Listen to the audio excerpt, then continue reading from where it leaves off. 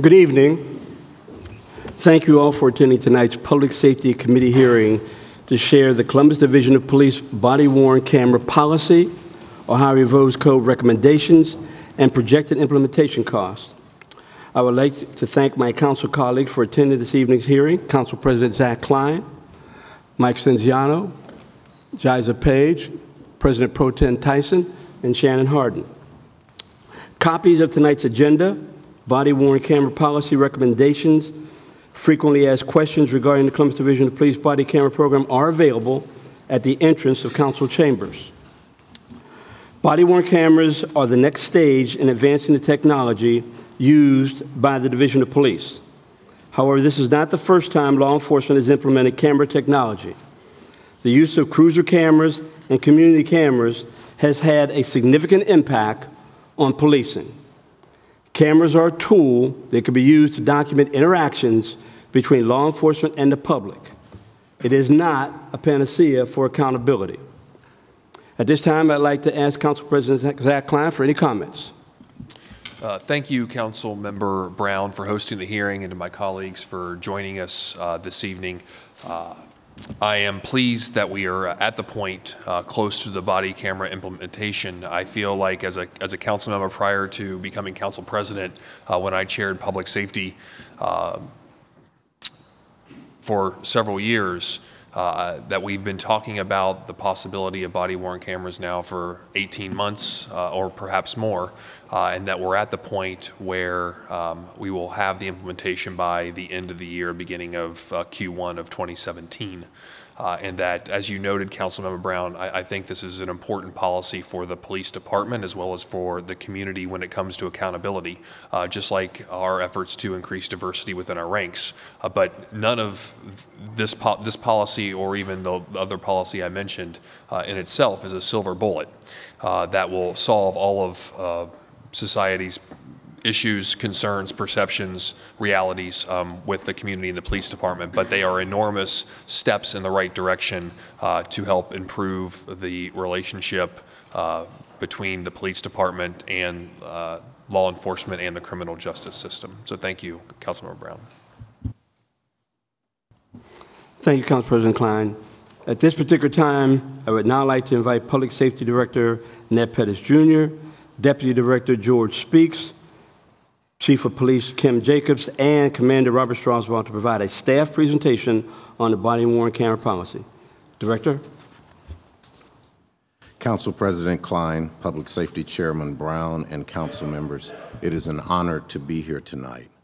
Since the events beginning in Ferguson, the topic of police-community relations has been at the forefront of our national, state, and local dialogue.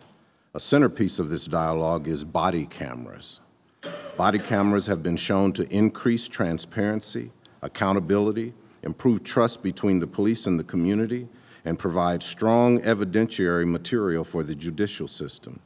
Moreover, body cameras have been statistically proven to both significantly reduce use of force by officers and reduce citizen complaints against officers. In short, people act better if they know they are being recorded. Mayor Ginther, Council President Klein, and Councilmember Brown and City Council have not only recognized the many benefits of body cameras, but have also dedicated tremendous resources towards outfitting our Columbus Division of Police with this rapidly developing technology.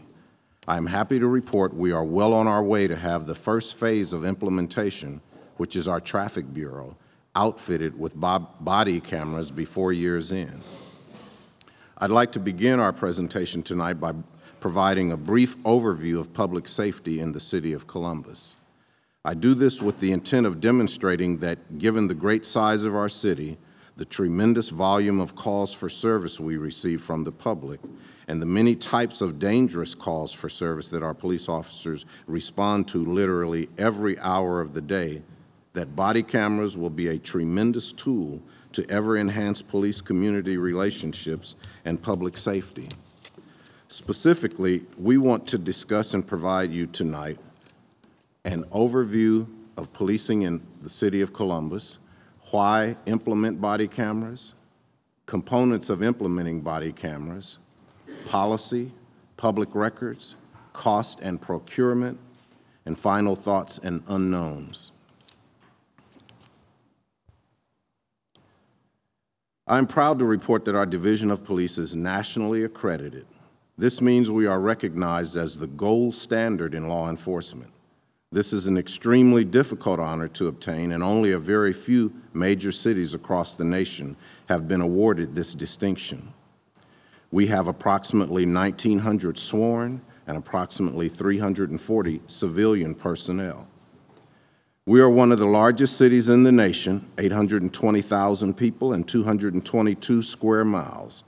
In fact, you can add the cities of Cleveland and Cincinnati together, and they do not equal Columbus in population or square miles. With a city this big, our public safety forces are very busy. An example, in 2015, the Division of Police received an astounding 1.3 million calls for service.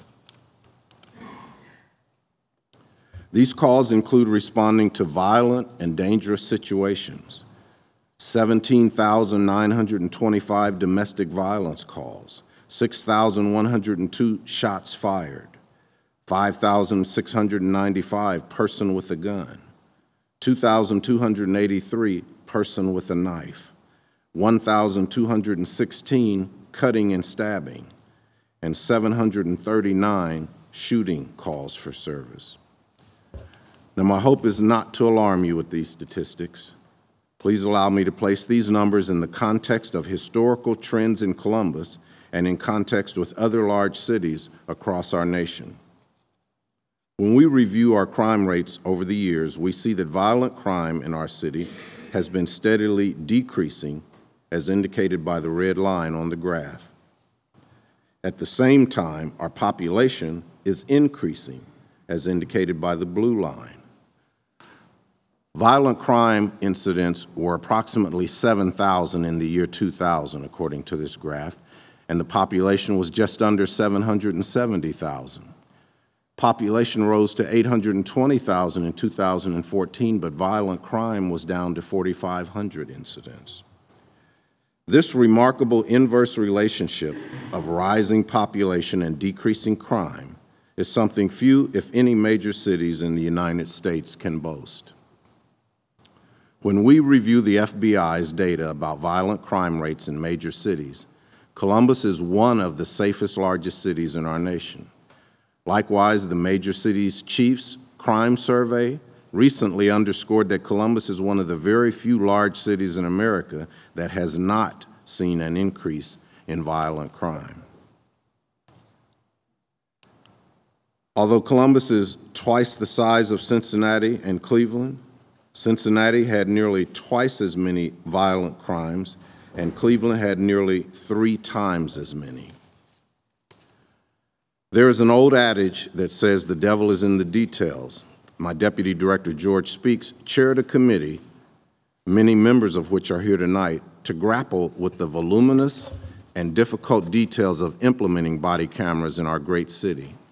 He will now provide an overview of the outstanding work of the City of Columbus Body Worn Cameras Committee with respect to promulgating a national best practice policy for our police officers to follow, drafting recommended Ohio revised code changes in order to properly balance the sometimes competing interests of transparency and privacy, and to estimate the very significant cost of implementation. Deputy Director speaks. Thank you, Director. So why implement body cameras? Body cameras will undoubtedly strengthen police-community relations, and this has been shown to enhance transparency, increase accountability, improve trust between officers and the public, provide sometimes incredible evidentiary material for the criminal justice system, and assist in training. And we pride ourselves on training here in the city of Columbus. I say that due to a number of studies. The first, uh, first all, body cameras began in Europe and the first study that we've seen occurred in Aberdeen, Scotland. In that study, they found body cameras resulted in a 14.3% uh, less citizens' complaints and less assaults on officers. In Mesa, Arizona, for example, they found a dramatic 75% less uh, use of force on the part of officers, and 40% less citizens' complaints. Sorry, in Plymouth, England, they found that body cameras were a tremendous uh, aid to prosecution, and they found that they had less and less trials and far greater, uh, a greater number of guilty pleas. In Rialto, California, they again found a dramatic decrease in use of force by officers and a dramatic 88% decrease in citizens' complaints. And in Phoenix, Arizona, uh, again, complaints against officers declined, and domestic violence convictions significantly increased due to uh, the amazing evidence that body cameras are able to provide. So, as Director uh, Pettis stated, why is this? Uh, I believe that people simply, as Director Pettis said, act better if they know they're being recorded. And the second thing we can take from these studies is the footage can be very, very strong uh, evidence. So, Mayor, former Mayor Coleman and Mayor Ginther formed a committee, and we were to look at the components of implementing body cameras. Specifically, the committee was charged with promulgating a national best practice policy for our Division of Police officers to follow, to address public records. As you will see, there is sometimes, of a, sometimes a clash of values. On one hand, transparency, and on the other hand, privacy. And we've tried to balance those two values both in our policy and, as you'll see, uh, recommendations to the Ohio legislature. Last, we will project cost, and we'll go over the $8.5 million projection uh, for direct cost, and there'll be some additional uh, cost for indirect cost. And two things that are ongoing uh, collective bargaining, we are now meeting with the FOP on this policy. And secondly, the procurement process. A bid has been put out, we have tested cameras, and Commander Strasbaugh will go, to, go into greater detail on where we're at in the procurement side. The body camera committee that was uh, convened, very talented individuals, very diverse backgrounds, who approached a multitude of issues from many different angles and vantage points. And while there was not unanimity on each of the issues, we certainly were able to get to consensus. The resulting policy, I believe you'll find, is very balanced. It's tailored to the city of Columbus, uh, and it fits very well within Ohio law, and I believe will, will serve as a national best uh, practice policy. You can see the, the committee members, including Bo Chilton, who heads the CEO of Community Action. Uh, Kyle Urjak is a sergeant with the Fraternal Order of Police. Gail Hill, a local business owner. Uh, Margot Kaminski, a law professor uh, at Ohio State, uh, whose bailiwick, by the way, is, is privacy in the law. Uh, Karla Rothan, the executive director of Stonewall Union. Abdi Sofofi with our Community Relations Commission. Bob Stewart with Public Safety. Commander uh, Bobby Strasbaugh, and the Reverend C. Dexter Wise III of Faith Ministries. In addition to these folks, we had both internal and external experts. Uh, for example, we had Laura Baker, the chief prosecutor of the city of Columbus, Jeff Furbee, the chief legal advisor, Carrie Bonaventura of uh, Department of Public Safety, our IT coordinator, Jonathan Schrigg, uh, who is into public records over the Division of Police, uh, Gail Patrick, an attorney at law formerly with the Legal Aid Society of Columbus, Ivan King, uh, Deputy Director of Technology, and Kate Bisciotti of uh, then City Council and now Public Safety. In addition, we took voluminous uh, uh, testimony uh, from a variety of folks, including the Ohio Attorney General's Office, the Ohio Newspaper Association.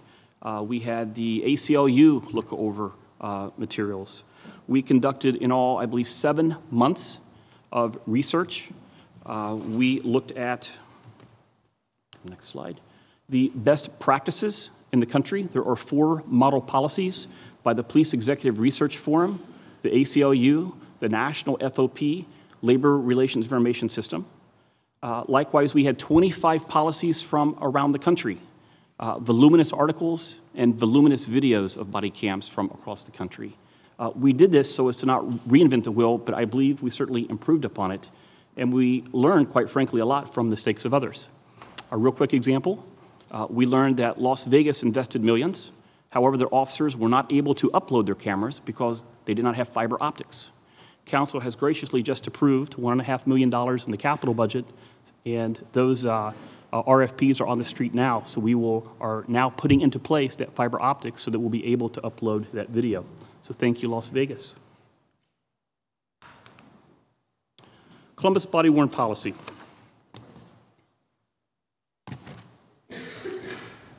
We delved into an incredible amount of issues. And let me say that there, there's no single best policy, but we took all the material and crafted uh, a policy that is both very broad, covers multitude of factors, and very in-depth. Things such as who should wear the cameras, uh, are officers allowed to privately own cameras? Official reports. What do you record? How do you train? Should you inform the public? How long should you remain in recording mode? What's the officer discretion to turn off the camera? How do you tag the videos? What's our retention schedule? How do we store the videos? Can officers review the recording? Can management review the recording? Or we, who has access? How is uh, externally, how do you release the data? What statistics uh, are we going to review? And if officers fail to adhere to the policy, will they be disciplined? A number of different items that uh, we covered. And now I want to go into some of these in detail. The first policy, who should wear?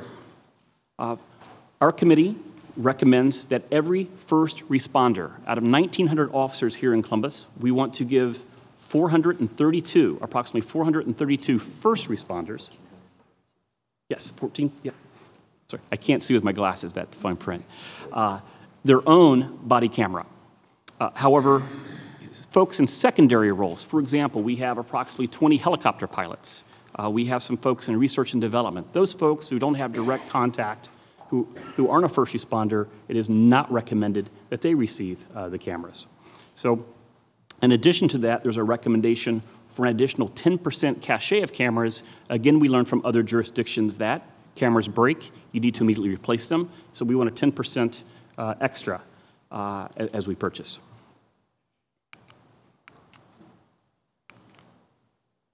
This is one of the uh, a subject that took an extraordinary amount of uh, time to uh, review and make a recommendation. That is what to record. And as you're about to see, we have a three part test here in the city. Number one, first part is any law enforcement action. What is a law enforcement action? It's defined for you there. All investigatory stops, calls for service, traffic and pedestrian stops, SWAT forced entries, OVI, any use of force, an arrest, or any time uh, a situation becomes adversarial an officer is required to record that. Now, what wouldn't be? Let's say I'm new to town. I say, Excuse me, officer, I'm new to town. Could you recommend a restaurant? That's not a law enforcement encounter. Something like that would not be recorded. As I said before, many times there is a clash of values, and it's a clash between transparency, and that value would uphold that camera should be on as much as possible, versus privacy, that value would uphold that cameras should be shut off. In order to uphold, uh, to balance those, you'll see when we get to policy seven, we're going to give the officer some discretion to turn the camera off. We'll come back to that in a moment. Whether to inform. In Columbus, the officer will say, Sir, ma'am, I'm recording. Body cameras are not to be surreptitious here in Columbus. We want to let folks know they are being recorded. Coming back now to officer discretion in, in 11. So remember, the first part is cameras will come on during a law enforcement encounter, and those are defined. How, uh, however, in order to remain sensitive to the dignity of folks, to be cognizant of privacy rights, the officers will be allowed to, or have the discretion, to turn off the camera in two situations. One dealing with sensitive persons, and the other dealing with sensitive places. Who are those persons? As you can see in number one, crime victim, especially victims of rape, incest, stalking, or other forms of sexual assault. Minors, confidential or police informants, persons experiencing significant mental or emotional distress, persons who exhibit severe bodily injury, who are nude or partially nude, and implicitly, that would also, uh, sex would, uh, you, that would cover, uh, and the deceased. What are the Special places, well, inside of a private home, uh, inside of a business, a uh, school, at a private entertainment venue, museum, or facility where intellectual property issues uh, may become an issue at a funeral, at a place of worship, or inside critical infrastructure. So let me go back. Cameras on, law enforcement encounter. Officer has discretion to turn the camera off in two situations dealing with sensitive people, sensitive places. However, that discretion is going to be taken away in three circumstances. If during there's an arrest, if there's a use of force, or if things become adversarial. It is a three-part test we're utilizing here in Columbus. The reason for that is, again, to balance these sometimes competing interests of transparency and privacy. We're going to give some examples of videos where we'll see this potential clash in a moment. There we go. Just as we want to protect the privacy of the public, we also want to protect the privacy of our officers. So some things internally are prohibited, such as recording in the locker room, showers, restroom. Uh, those things should not uh, occur uh, between, within the uh, officer setting. Likewise, we have some external. For example, if you recall, there were some issues in New York City where it was alleged the Department of Homeland Security was using body cameras or cameras to uh, find out who was attending certain gatherings, which we believe may be violating violative of the First Amendment. We will not do that. We will not gather intelligence information based solely on First Amendment protected speech, association, or religion here in the city of Columbus.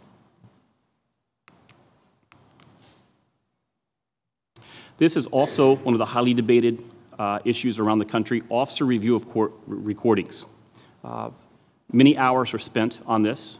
The committee felt that officers should be able to review a recording here in Columbus. There was a variety of reasons. Uh, one, the uh, Department of Justice funded PERF study's recommendation was to do that in order to ensure accuracy.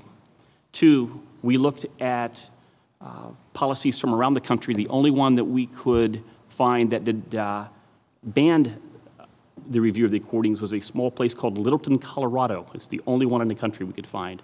And third, and I think what swayed the committee, the film is what the film is. It doesn't really make a difference. When an officer reviews the uh, recording, uh, that film will stand and speak for itself. Likewise, management will be reviewing recordings. Uh, we pride ourselves on our training. As you know, our officers here spend almost twice as much as training as a state of Ohio minimum uh, in order to be a Columbus police officer. We want to utilize uh, these recordings just as my, for example, my son and his football team utilize the game film uh, every Monday after the Friday night game. Uh, it can be very beneficial to improve performance. And lastly, discipline. A failure to adhere to this policy uh, may result in discipline, uh, as with the violation of any of our policies here in Columbus.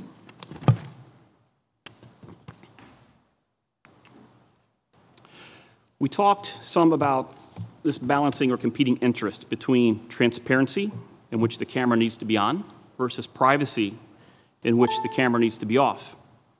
Now remember, Ohio is an open record state, unlike other states in which body camera footage is not a public record, California, Florida, for example. And while I don't believe mainstream media is an issue, anyone can make a public records request.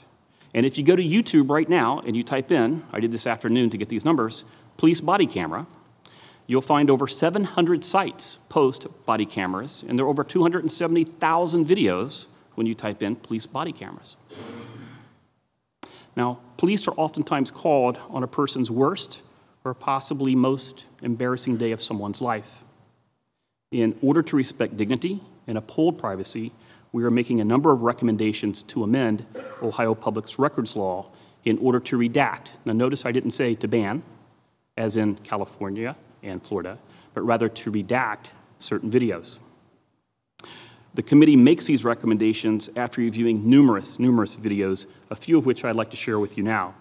The first example uh, deals with the domestic violence. As I mentioned before, a study found that domestic violence convictions dramatically increased with the implementation of body cameras. And it's easy to literally see why. A judge or jury is able to see emotions and the demeanor of the assailant and the victim during or shortly after an attack or, or uh, shortly after an incident. You will be able to see physical characteristics, tears, bruising, perhaps blood. This is very powerful demonstrative evidence. But DVs, likewise, domestic violence, are also some of our most dangerous calls for officers. And for transparency's sake, we want to capture what occurs. On the other hand, so this is that flip side of the, of the coin, if you will. What if an act of domestic violence did not occur? What if force was not used by the police? By posting a video obtained by a public records request, the public will be able to see the inside of someone's home, where their valuables are, how the house is laid out, how one looks in the middle of the night in a very potentially embarrassing situation. Such is the case for Cleveland Browns coach Andy Moeller, whose encounter with the police was shortly posted on YouTube. Hello, sir. How you doing? You Andrew? Morning. Can we talk to you? Yeah. You all right? Yeah, I guess Yes. you, you and Sandy get into it or something? Well, she left and trashed my house, so. Really? All right. Is I that, don't know your what she fiance? told you. I haven't even talked to her yet, so I don't. I don't know. So what? What happened? Uh, she got mad and I'm in the middle of cleaning up all the glass. Okay. It's all over my house What? and I don't know what she told you. I. But I I. have all this to clean up and I've been sweeping up the entire, uh, we had glass here What'd you do that for? and I had glass back there. And she's, I think the windows broke. I gotta look back there. Well, I mean, She threw that over there, so, well, how'd, you, how'd you do all this? what's that? I mean, how'd this happen? Um, Did you start? she's mad at me Mm-hmm. and she went off and sir that that that's Just started breaking stuff? Was that- she threw it all over all, all over all over the wall over there all over the wall over here and i'm just cleaning it up i don't know where she's at i don't know if Okay. you talked to her Yeah, I don't know she, what she called. She wants went, to she, say. she went walking down the street. yeah well uh, yeah and so i'm Did it get- that guy here and all that Again, I would argue there is not a public interest in this particular video of Coach Moeller. Charges were not filed. There was not an act of violence that took place. Um, quite frankly, it's quite embarrassing. Uh, that is why, when we get to our recommendations, you'll see we believe that videos such as that should be, uh, we should be able to redact those images. A second video deals with the mental health crisis. Okay. All right, uh, April, let me Yeah. tell you first. First, I gotta let you know I got my body camera Okay, rolling because we have, cool, cool. we have two That's body fine, cameras. That's okay. Um, and you work out at Eastern. Yeah, well, I have my um doctorate out there. I'm a PPPHD MD. Yes, Okay. yes. Okay. Uh, you're also April Romero, E- right? Well, I used to be, but I'm, I'm an Eastman. I was kidnapped, but well, that's another story. Okay, but I, well- do- I do own the hospital. Well, Okay. anyway, um, he's not from this planet. He's not human. He's like a wolverine. He was like an animal. It was the sickest thing I ever felt in my life. And I've been studying it for a while, and I tried to get out there today and get him admitted, and I couldn't. But it's bad. He's really, he's not human. He needs like um, X-rays and chest and all kinds of like a GI and upper and all kinds of stuff done and, Okay. and thesis done and All sorts documented. Yeah. Oh Okay. yeah. Obviously, this lady is in the midst of a health crisis. Under current law, that video is a public record. As you'll see, the committee is going to make a recommendation that such videos uh, depicting such scenes should be redacted. A third video. Um, yes, that's the one, Grant. As you know, we currently have a heroin epidemic throughout our nation.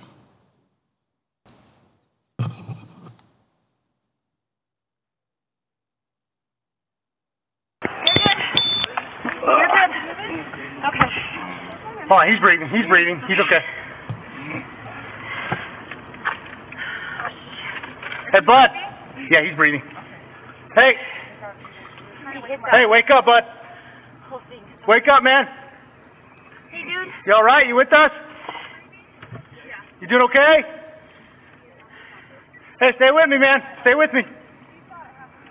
Stay with me, bud. That's fine, Grant. We're gonna have one Hispanic male. The video depicted a heroin overdose. And again, as you know, we are well in, in the midst of a national epidemic.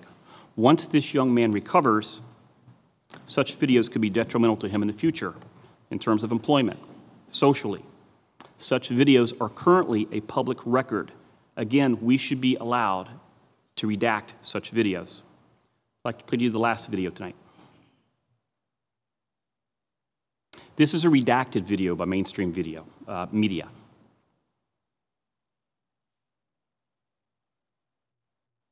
Flagstaff police releasing that body camera video. It is chilling as it shows the officer approaching the suspect in a domestic violence case. Everything seems very normal until that suspect suddenly pulls a gun. Is there any anything I can do between you guys? You need someone to exchange some keys or The video from Officer Tyler Stewart's body camera begins in his patrol car on the afternoon of Saturday, December 27th. The 24 year old officer out looking for a suspect in a domestic violence case. He found the man, 28 year old Robert Smith, in a neighborhood off West Clay Avenue in Flagstaff. Officer Stewart calmly questions Smith about what happened between him and his girlfriend. you don't have any weapons in your pockets or anything like that? Sir, I'm just cold. Okay. My tooth does not let me eat in days. Okay. How bad is the pain? On a scale of 1 to 10, like a 12.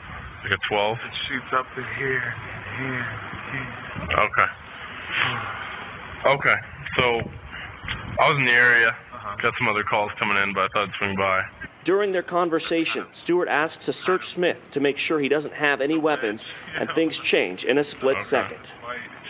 You mind if I just pat down your pockets real quick? You don't have anything in here? No, no. Okay. Nothing in here? No, this is my smoke. Okay. The video too graphic to show from here, but Flagstaff PD says you hear three gunshots and the camera goes to the ground. Then three more shots from Smith's 22 caliber handgun. The body camera moves slightly, all within a 4-second time frame.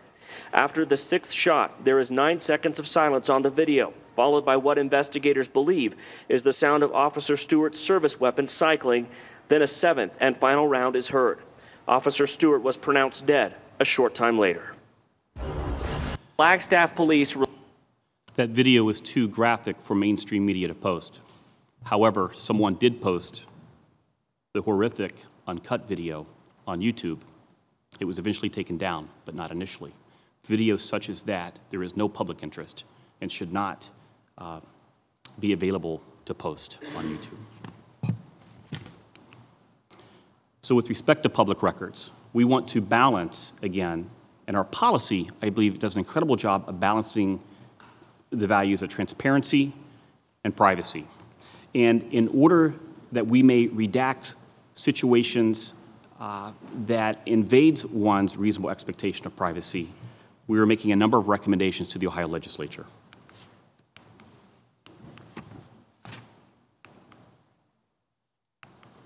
Here we go. The first, that the death of a person, uh, a, deceased body, if you will, should not be a public record, with, unless, two exceptions, unless the death was caused by a law enforcement officer, that would make it a public interest, or number two, the consent of the estate is obtained. The second, uh, similarly, the death of a police officer or a first responder, uh, similarly, should not be for display on, on, uh, as a public record. Assume the person doesn't die, but there's a horrific injury. And there are some videos on the uh, YouTube that are brutal. Um, again, such videos should not be a public record. Number five, the exposure of a person's private body parts. In other words, nudity and implicitly sex acts uh, would be exempt. We believe that number six, juveniles. Number seven, personal health care information. Think of the number of times an officer responds to a hospital or to a clinic or to an ER, and information may be overheard or taped inadvertently. You may not even be the subject of the video, but things are recorded. That should not be part of a public record. And lastly, victims, victims of crime, especially victims of sex crimes. Number nine, um, as you know, people provide information to the police, and by doing so, they could be put in jeopardy. We want to protect these informants. Number 10, an officer may ask you, for example, for who you are and for some corroborating information, such as your date of birth, your social security number, your address. This information should not be posted publicly. Number 11, tactics that the police generally use. Now, the implementation of those tactics, we believe, should be filmed, but the discussion as to what those tactics are should not. Number uh, 12, non-work-related conversations. Again, we also want to protect the privacy of the officers. If an officer is talking about his home life, if he's talking about uh, the football game this past weekend, that should not be the subject of a public record. 13, there's an adage that uh, one's home is their castle. We believe that the inside of a residence should not be a public record unless, again, there's a use of force or adversarial encounter. There's in a public interest, which we believe that that video should be in the public realm. So these are 13 uh, additional exemptions, additional exemptions to Ohio Revised Code 149 that we will be approaching the legislature uh, to amend so that we are able to, again, redact these items that we believe are an invasion of privacy and, uh, and quite frankly, are, it could be very embarrassing and or horrific to uphold the value of dignity. Two other recommendations. One is the uh, exempting security and infrastructure records. Uh, for example, if one is in a jail, we don't believe the, the layout of that jail should become a public record. And lastly is pandering obscenity. Let's assume, for example, and this does happen, that officers catch uh, someone uh, in a sex act. Uh, we get a public records request. Under current law, we have to fulfill that public records request. On the other hand, there's a criminal prohibition against pandering obscenity. The state legislature needs to take cities out of this quagmire that, is possible under current law, between this rock and a hard place, if you will. Which law do, do we follow? The committee successfully uh, accomplished its first two tasks. We talked about the policy. Number two, we talked about the Ohio Revised Code recommendations. Lastly, the committee was charged with projecting cost. And as you know, uh, capital budget wise, we've already allocated $1.5 million for fiber optics. You'll see here at the very bottom right an estimated cost of $8.5 million to implement body cameras here in the city of Columbus. Let me forewarn you, these are direct costs. These include the cost of the camera, the warranties, the docking stations, the accessories, uh, training, the very expensive, uh, all that stuff, if you will, is about a third. The really expensive part of body cameras, it's the storage. Now, we have a three-part records retention policy here in the city of Columbus. Uh, a, if it is non-related to a case, that video can go away within 90 days, therefore not take up server space. If, on the other hand, it is a criminal matter, that video is kept at a minimum of two years. However, if it is a critical incident, or if it is a major incident, due to post-conviction appeals and some very long statute limitations dealing with property, this video can literally be kept forever. So the most expensive aspect, again, is not the cameras, rather it will be the storage cost going forward.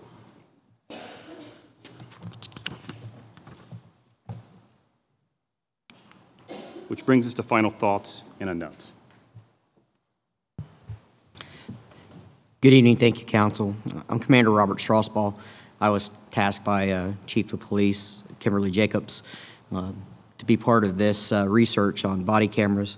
Uh, body cameras is currently a rapidly evolving technology, and things are changing daily. A lot of the corporations who have instituted these uh, devices are taking the words of the folks in the field that are using them and constantly making them better. As we had a growing curve with our mobile cameras and our cruisers, so too will we have that same learning curve with body cameras. Technology will, will go forward and allow the ability for these cameras to come on without human error. Currently, it has to be turned on by a human. Uh, there are triggers that are being developed in the workplace, uh, none are currently available, that uh, will allow heart rate to be monitored. If a weapon is pulled out um, of the holster, a camera would be activated. And there are systems that are currently in the works that where if the mobile camera is activated, so too will the body camera be activated. So as technology evolves, I would ask council to keep that in mind that the camera that we get today may not be the camera that we'll have in three to four years because of technology. Our redaction, there are some vendors who are giving us an estimate of four to one for every one hour of video. To redact that video is four hours. That is to sit through it and to listen to it because we have to be cognizant of releasing personal information such as social security numbers and driver's license numbers so that we reduce any chance of us being part of someone's identity being victimized. We'll have to increase our civilian workforce to have people watch these videos and to redact based upon hopefully the changes of the Ohio legislators. That's imperative for the privacy of our citizens. Storage costs, uh, records retention, as uh, the director talked about, uh, there's going to be a growing pain with that as well. Officers have to download these videos. Our substations are being updated with fiber optics per the money that you have allocated. Our collective bargaining unit uh, with the FOP uh, is another process. We are currently in midterm uh, negotiations, which I'm sure Chief Jacobs can speak of, and to make sure that we do it right and we do it right the first time. The one thing that I am proud of is I was born and raised in this city, and we are, in my opinion, the progressive leaders in law enforcement when it comes to this issue. The procurement process uh, is currently underway. We, we tested several vendors. Uh, we put them out in the field. We had a variety of officers, a variety of body shapes uh, to make sure that the cameras are worn and we capture the best video quality that we can. We started out at a higher number of, um, of proposals that were sent to us. We whittled that down to about six. And then from that six, we whittled that down to even further, which is now the RFP that the director was speaking of is down to two. And I cannot answer any questions about that process uh, because I've been told by the procurement office I'm not allowed to, but our uh, purchasing office uh, is in the process of those negotiations right now. It is our desire in the Columbus Division of Police and Chief Jacobs, as she directed me, to get the best possible equipment for the citizens of Columbus and for our members of our Division of Police. Training, our training, we will take the policy. It's going through a concurrent process right now with our executive staff. It was been reduced to our directive format. It's being reviewed, and then the Training Bureau is taking that policy and is creating a lesson plan. We're one of the few academies in the state of Ohio that are allowed to create our own lesson plans and subsequently submit them to the state for approval. That is currently being done, and our goal is on December uh, 1st or the first week thereof to have 55 of the uh, Traffic Bureau officers, the first 55 to get cameras, trained in what the policy is, when to turn them on, when to turn them off, and how to operate them and how to upload them. With that, I'll turn it over to my boss, uh, Chief Jacobs, and thank you again for allowing me the time to talk about this issue. Good evening, Council President Klein. I will turn that that way. Council members, Director Pettus, and all that are, are here.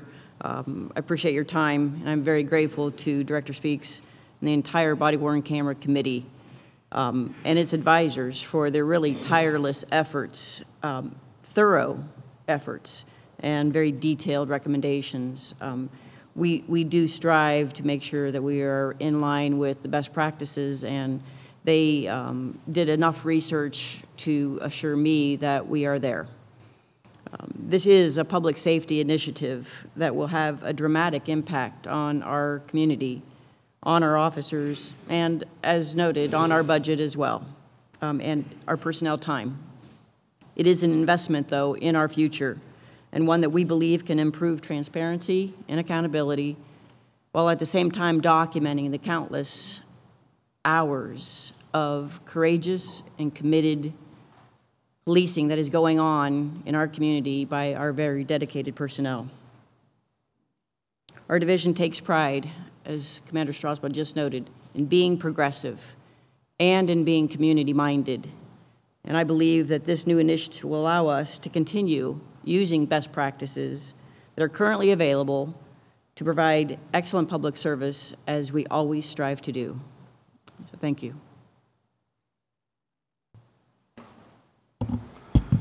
Council President, at this particular time, there are some invited speakers I'd like to have come up and address some issues. There will certainly be an opportunity for members of this council to ask questions, but I think it's imperative that they hear from all those folks who are appropriately involved in this process. And I'd also like to thank the city attorney, Rick Pfeiffer, for joining us this afternoon. Uh, At this particular time, if State Representative uh, uh, Kevin Boyce is present.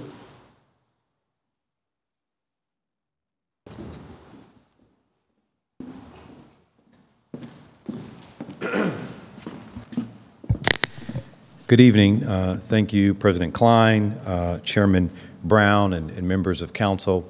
Uh, It's an honor and a pleasure to stand before you today. I really believe that much of what has been said uh, was going to be reflected in some of my comments about the historic perspective on body camera research. Uh, So I'll cut to the chase uh, in some of my notes. I'd be remiss if I didn't first mention and thank uh, Deputy Director George Speaks and uh, Chief Kim Jacobs for uh, their work over in the legislature. They have been very much a part of our working committee uh, and have provided outstanding feedback on behalf of the city.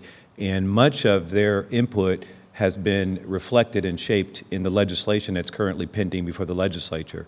And so I want to let you know uh, they've been representing the city very well over the legislature as well. So thank you.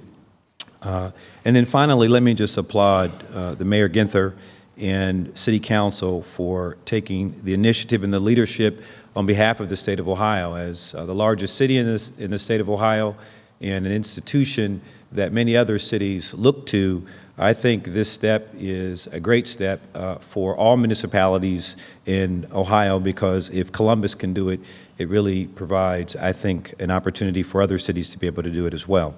So let me just tell you a little bit about what we're doing in the Ohio legislature. Um, we introduced uh, House Bill 407, which, by the way, is a bipartisan bill that would require law enforcement agencies that use body cameras to adopt policies for operation and require agencies to make them available to the public. Again, I won't read through all of my notes other than to say that uh, much of what is in the policy that was presented today is also a part of what we're going to require within state law. Uh, so, for example, um, every law enforcement agency in Ohio that would have body cameras based on House Bill 407 would require that law institution to adopt a public policy, and most importantly, make it available to the public so that everyone knows and understands the rules to which body cameras are being utilized. So, for example, here are some of the areas that must be addressed per House Bill 407. Which officers are required to wear body cameras? Activities during which operation of body camera is mandatory, optional, or prohibited. Standard procedures for obtaining consent to operate cam the camera when entering a private residence and its exceptions as illustrated in your um, policy proposal. Standard procedures for reviewing citizen complaints and conducting internal investigations. Standard procedures for responding to public records requests record retention requirements such as how footage is stored and the duration of time the footage is retained. This is an important item here because what we found is that some of the cost uh, limitations uh, are rooted in the data storage and the size of the data over time of what it collects. And so our state law, um, while this says you have to identify how much time you're going to hold data, uh, we're also looking at legislation that would really give municipalities the ability to jettison data that is sort of um, routine or not being used in an evidentiary matter. And so uh, if uh, Council uh, Member Hardin, if I'm a police officer, I stop you for a red light, for running a red light, you know you ran the red light, uh, and you go, you pay your ticket on Monday morning, do we need to keep that footage for a year? uh, using up space on the uh, on the server. And so there's things like that that seem like small things, but could actually be significant in terms of cost in the big picture. Uh, whom within the agency has access to the footage. Um, again, we followed, as the City of Columbus did, the PERF report you heard. Um, we followed the guidelines that were identified in the PERF report, and so these are things that uh, have been, I, I, would say, significantly researched to show uh, that these are things that must be addressed in order to, to utilize a body camera policy in a way that's effective. Um, so whom has access to, to, to the footage? So who can alter or redact uh, that footage? Whom within the agency may edit footage? Uh, same thing.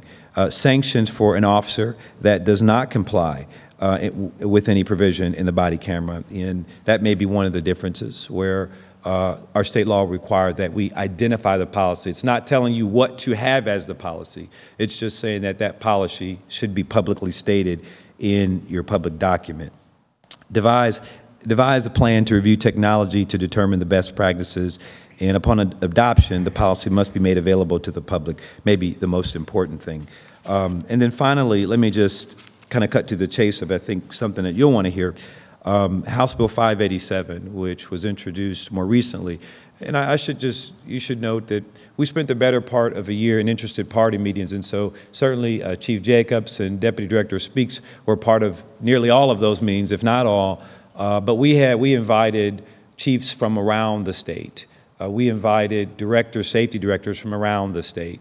We pulled research from nearly every municipality that has um, body cameras and looked at every legislative items that, that states have. And, and again, the same thing that we kept coming up to was the cost, the cost and, and what it would be, what would require for municipalities to implement body cameras. And so uh, we recently introduced House Bill 587, which is a little more, uh, I would say, uh, strong in terms of requiring municipalities or law enforcement agencies to have body cameras because that's exactly what it does.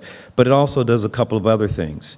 Um, first, it appropriates $50 million to law enforcement agencies to assist them with the cost of implementing body cameras, whether that's for the server or even retroactive. And so uh, if this bill is passed. And so you can all write the Speaker of the House and encourage them to get this bill passed with me.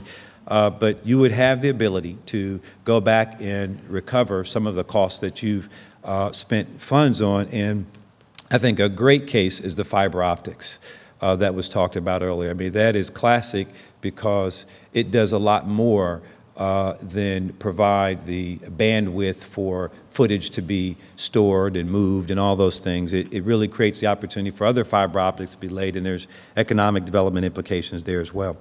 Um, but it establishes a fund of $50 million.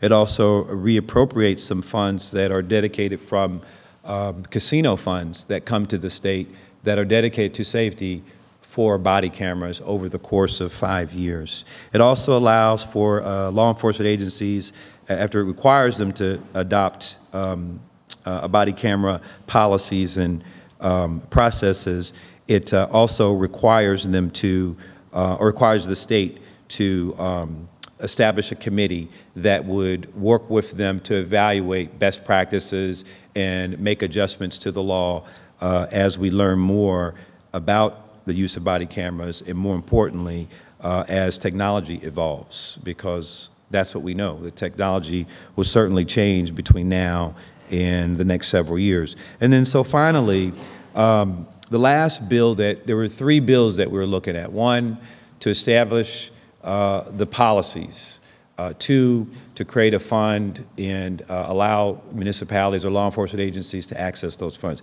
But three, and this is the one that we still are working on, and we've got some drafts of the bill, uh, but it's currently sort of, and, uh, it just reminded me that uh, Council President Klein was very much a part of the initial discussions of this third bill, which is around record retention and the use of records. And so we currently um, have been drafting legislation and having interested party meetings. And some of the things that were outlined in the presentation today uh, would be addressed, but those are very complicated matters. Uh, those are very complex matters because it interacts with various aspects of the law. Uh, and most importantly, we want to ensure that whatever we do, whatever we put into state law, doesn't become um, um, a factor that you know, prohibits or has a negative impact on evidence being collected or uh, storage or any other uh, open records requests or privacy matters that uh, could be negatively affected. And so I feel very confident and good that the conversation within the legislature is robust. Uh, and while I won't be there next year to uh, help guide it, I, I really believe that it has legs. And I think that uh, most of the legislators who represent urban areas uh, are very much supportive of uh, body cameras. And I, again, want to just commend the City of Columbus for your leadership in helping us work through what I think is, is going to be uh, an improvement to uh, law enforcement execution throughout the state of Ohio. Thank you. Representative Boyce, thank you very, very much. We appreciate that. I think it's significant that everyone understands that we have been the leader in this process in a variety of different ways. And your engagement on the state level has been certainly beneficial. So thank you very much for coming down and speaking to us this evening. Thank you. Before we have, uh, there are members of the committee, but I think the council has questions. So why don't we answer some of the questions from the council members? Then I will have members of the committee speak to their engagement, and at that time, after they're finished, we will entertain communication from the community. Council President? Thank you, uh, Mr. Chairman. Uh, Perhaps the best person to direct some of these questions is to uh, Director Speaks, uh, Deputy Director Speaks. Um, Well, are all the models tested, or at least in the final two negotiations, do they all have audio? I'm sorry, do they They have? both have audio, or is it just video component? Uh, Yes, both, both, President. Both audio and video? yes. What's the uh, plan um, as it relates to proceeding with the General Assembly on public record law changes, knowing that uh, the General Assembly can sometimes be a little slower uh, to enact laws, but yet this being, I know, a priority for me and the mayor, uh, are we still planning on proceeding uh, despite uh, what could be any hiccups at the State House? Yes, our uh, policy, again, is very well balanced. So yes, we will proceed under the proposed policy. Uh, Having said that, if our ORC recommendations are adopted, uh, I think we should go back at that point uh, and redo the policy. Right now, again, it's very balanced. Um, If in fact body camera footage, they would take our 14 additional exemptions and make that into law, then quite frankly, the officers could leave the cameras on, for example, inside of a residence the entire time. The problem, quite frankly, is this. In order to protect privacy and dignity, let's take the video of the inside of the home on the domestic violence. Uh, There, an officer would have had the discretion to turn that video camera off. Let me give you a hypothetical. What happens if all of a sudden somebody runs out of the room or into that room with the officer? The officer may not have time in which to turn that camera back on. Um, If the law was changed, the officer could simply leave the footage on the entire time because we wouldn't have to worry about protecting privacy. Please let uh, us know on council how we can be advocates at the State House um, so that we can err on the side of having the officer always have Yes. his or her body camera recording, knowing that there is possible redaction uh, for state record law exceptions. Exactly. Uh, And any sort of advocacy that we can play so that we're erring on the side of, uh, of transparency and accountability as it relates to the engagement of the camera being on. Agreed. Um,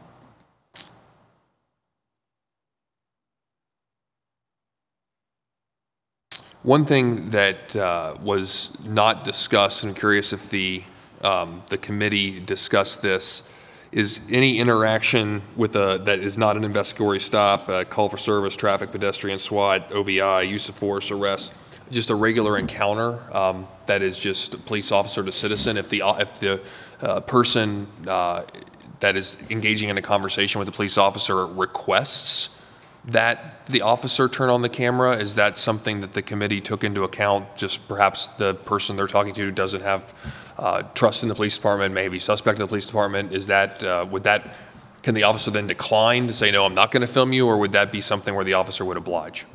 Um, We've discussed this internally. We believe that if someone wants the camera on, we will turn the camera on. Conversely, however, if a person wants the camera off, no, the public will not dictate how a law enforcement officer utilizes that tool. There may be very good reasons where the officer wants to keep that camera on. Um, So in terms of turning the camera on, I don't see there's a problem. In terms of turning the camera off, yes, that, that is an issue.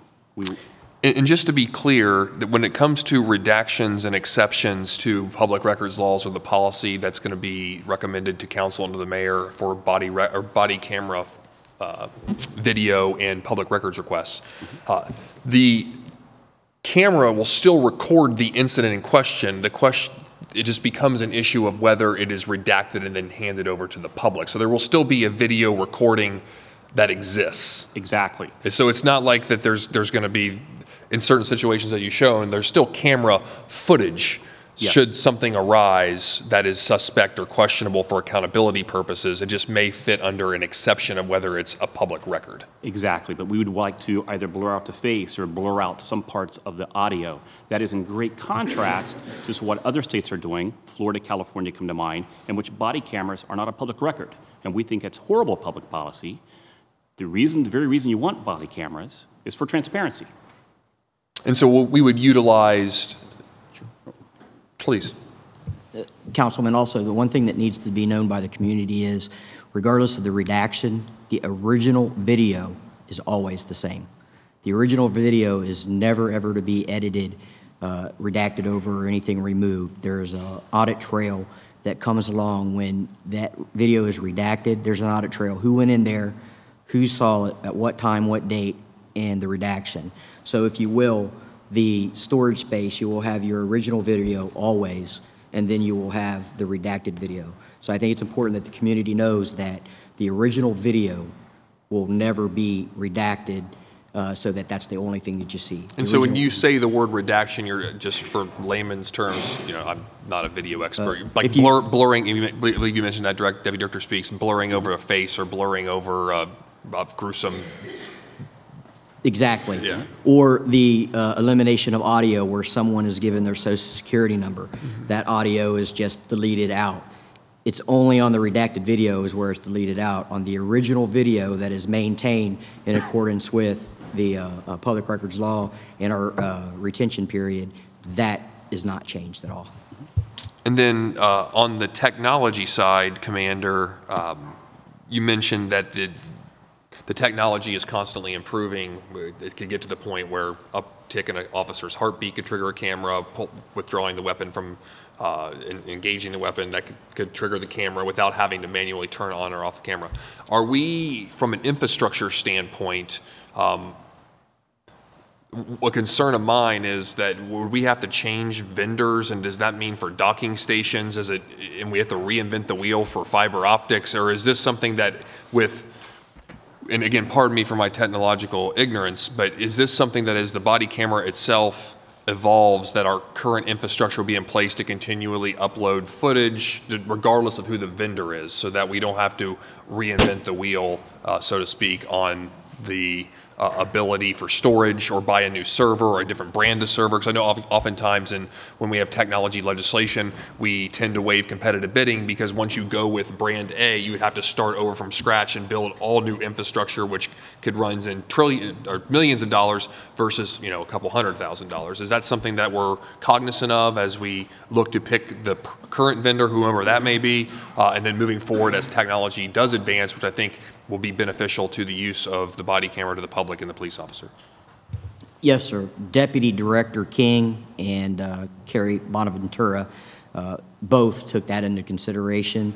Uh, Our testing included uh, what is able to be, the most important thing to us is, is that in five years, if we change a vendor, we want the ability to have all of our videos back.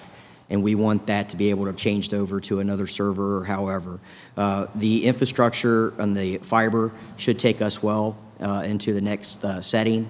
Uh, The um, infrastructure in the substations uh, won't change uh, as far as fiber being in there because we're putting that into the subs that don't currently have it.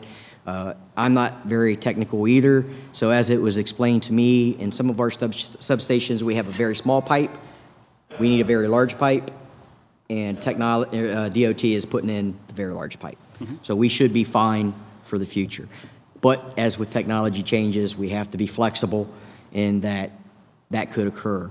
Uh, However, I will say that the one thing that um, uh, these vendors do is uh, they reverse engineer each other like crazy. So if one camera company or vendor has it, eventually, within a short period of time, the other ones get it as well. That's all the questions I have, Mr. Chairman. Thank you, Council President. President Pro Tem Tyson.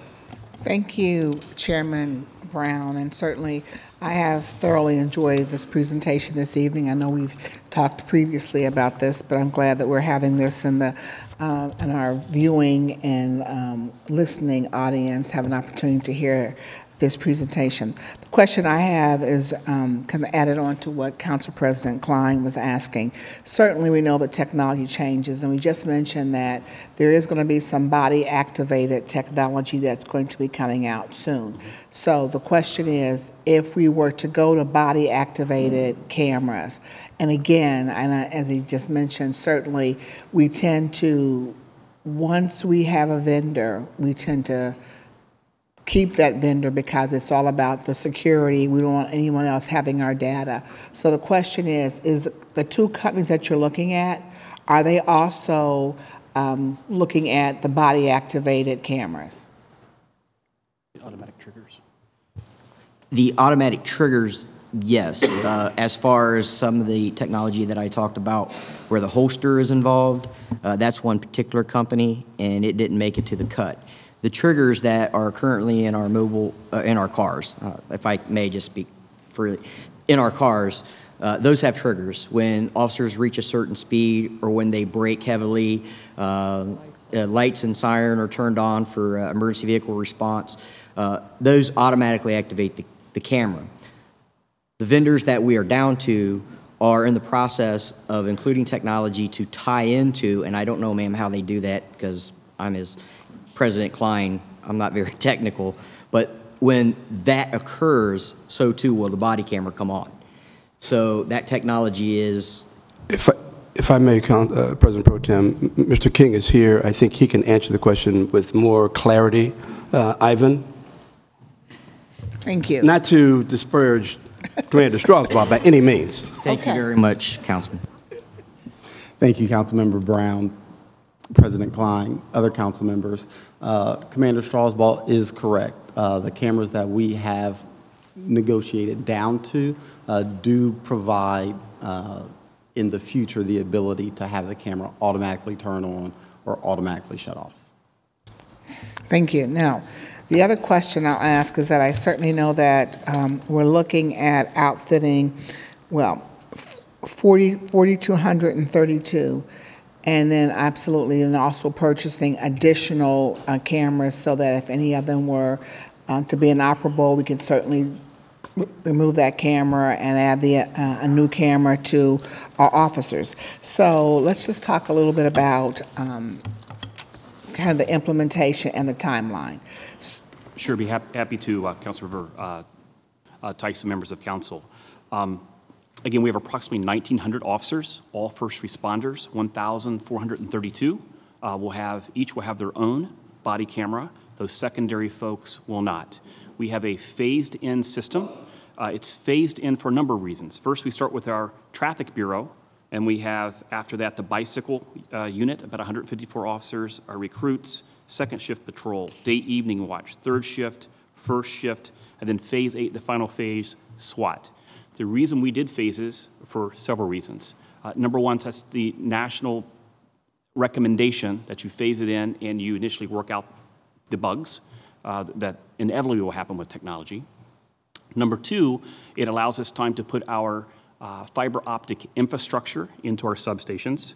Uh, The infrastructure is not needed for our traffic bureau, which is why we're going to them first, because police headquarters, where traffic bureau reports, already is equipped with the fiber optics. Third, uh, the traffic bureau has less of an expectation of privacy, if you will. They're, they're out on the roads as opposed to officers going into homes and businesses. Uh, this will allow the legislature some time to work on those uh, public records amendments that we talked about. Uh, so, uh, eight phases, and we're able to phase this in depending upon funding that we're allocated. Funding is always a concern, and just, so based upon that, just realistically, I know since we have um, an $8 million budget, so realistically, these eight phases, I'm sure you, have you had any conversations at all about the timeline to get to phase eight? Well, as Director Pettus said, we are on track for Phase One by the end of this year with our Traffic Bureau. Um, As you know, we're in the middle of budget discussions now. I don't want to haphazard uh, an answer on that, but certainly I would hope within the next two years max. By the way, it's eight and a half million, uh, eight phases. These are the direct costs. There could be some additional costs with respect to indirect. Those are some of those unknowns we talked about before. All right, so two to three years probably. Probably. Thank you. Yes. Uh, Councilmember Shannon Hardin. Thank you, thank you, Chairman Brown, for your leadership, and certainly thank you to the Department of Public Service, uh, uh, Public Safety, and the committee uh, that did this thorough research. Um, Representative Boyd stated that uh, HB 407 uh, dealt with who would be able to redact the information. In our plan, who who has that? Uh, and, and I think uh, Commander Strasbaugh talked about it too. Uh, who who in our within uh, the city of Columbus would be over redacting information or video? Thank you for the question, uh, Councilmember Hardin, members of council. Uh, Police has its own public records unit. We are blessed with that, unlike many jurisdictions who do not have that expertise. So we have an entire unit dedicated to public records. They would take on this function. And they're on the civilian side or the Civilians, Okay. yes.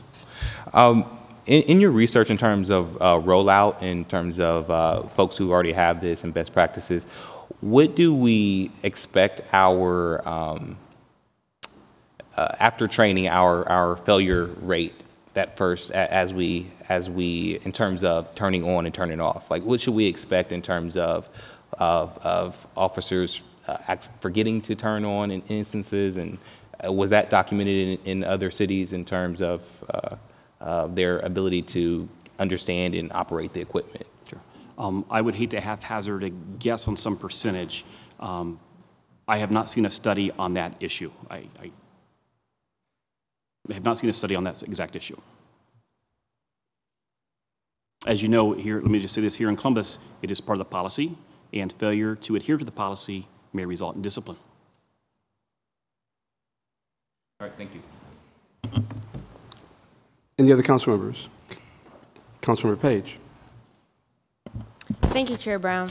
Um, I have a couple of questions, one particularly about the 90 days storage for the non-evidentiary material. Does that align with the amount of time that we keep other non-evidentiary materials like the dash cam? Uh, Yes, the re- records retention policy um, has not changed. Remember, body cameras may be a new technology, but we've dealt with public records for years and years, so that has not changed.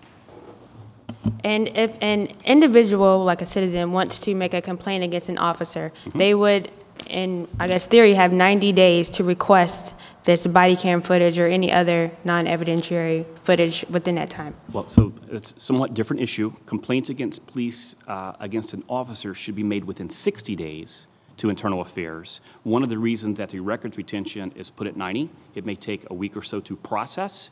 So if we get that complaint within 60 days, we'll be sure to have that footage and retain that footage.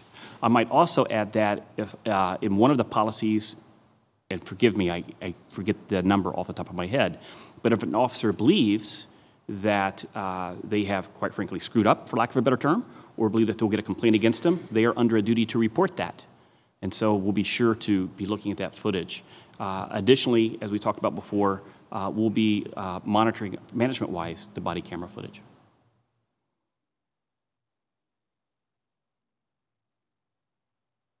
Councilmember Stinziano. Good for now. Please. Thank you again, Chair Brown. And I know we talked about this briefly, but could you talk about the disciplinary policy if an officer forgets or doesn't turn the camera on or off? Um, Discipline may, we have, how many policies do you think we have? I I would hate to. Hundreds. Um, I can't give you an exact number with with respect to our standard operating procedures, but failure to adhere to any one policy can result in discipline. I can't tell you exactly what that discipline is. It depends on the unique fact and circumstances of that particular case, but it includes up to firing. Chief, you wish to speak to the issue at all? I was just going to say that um, the uh, disciplinary process works as in accordance with the the agreement that we have with the union. Um, And it- so it could range from positive progressive uh, action to uh, suspension or termination, as the director said. But um, suspensions and written reprimands come if we've identified that as critical misconduct. Otherwise, it would normally be progressive discipline, starting with um, uh, documented constructive counseling. And we've used a range of that, and again, it goes back to whether it's negligence, reckle- recklessness, you know, intentional, or, or some other um, act. Councilmember Stinziano. Uh, Thank you, Chairman Brown. Just a quick question. I really appreciate all the committee's work. Uh, Up to this point, what public input has there been uh, engaged with the committee? I know you took the best practices and compiled all the four uh, kind of programs or recommendations were out there. Just curious if during uh, making these recommendations, has there been uh, outside public input? There's been the tremendous uh, input from the public. We've had seven months of public meetings, a variety of, uh, the public showed up at these meetings, media showed up at these meetings. Uh, There was a public debate at the, uh, the Confluence Park regarding body cameras. There's been various articles in the media regarding uh, the, the committee's efforts, uh, various uh, taped programs on the news media regarding the, the efforts. We had a televised public hearing at, uh, I think of the name of the church, at uh, Faith Ministries uh, Church uh, on body cameras, and tonight is another great example of, of public input.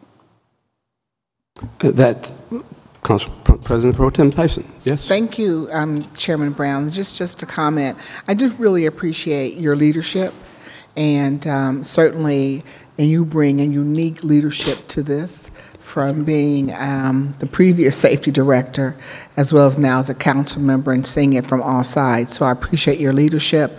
I also appreciate the work that Deputy Director um, George Speaks has done, the chief, the committee. Um, I'm pleased that we have gotten to a point where now we're able to have additional public comment, that the proposal has been brought to this body. And um, so I'm glad that we are at this point, and uh, we'll keep moving forward with um, getting input as we will tonight. Appreciate your um, work on this, President Klein. I know the mayor has certainly been um, integral to moving this forward. So I'm glad we're at this point, and I'm glad that we're having the ability to have additional input from, from um, our residents tonight. Thank you. Thank you. Councilmember Page. Thank you, Chair Brown. I'm just looking at your phases on the last page here, and recruits are like phase three. And it's my understanding that typically recruits will be paired with a more experienced officer on patrol, and so they will be phased in later. So could you see an incident where a recruit would have a body camera, but maybe the person that they are training with does not have a body camera? During the initial setup, yes, it's very possible. Uh, As Director Speaks alluded to earlier, a committee of community members, uh, law enforcement personnel, subject matter experts have collaborated to develop the body-worn camera policy. I think this gets to some of the other comments that people have made. I would now like to invite some of the committee members to share their experiences on the committee, and I would like to say thank you. I know the meeting's going a little bit long, but for the community to be able to offer their comments, uh, we're going to answer their questions as well. So with that, I don't know if uh, Pastor Dexter Wise is present.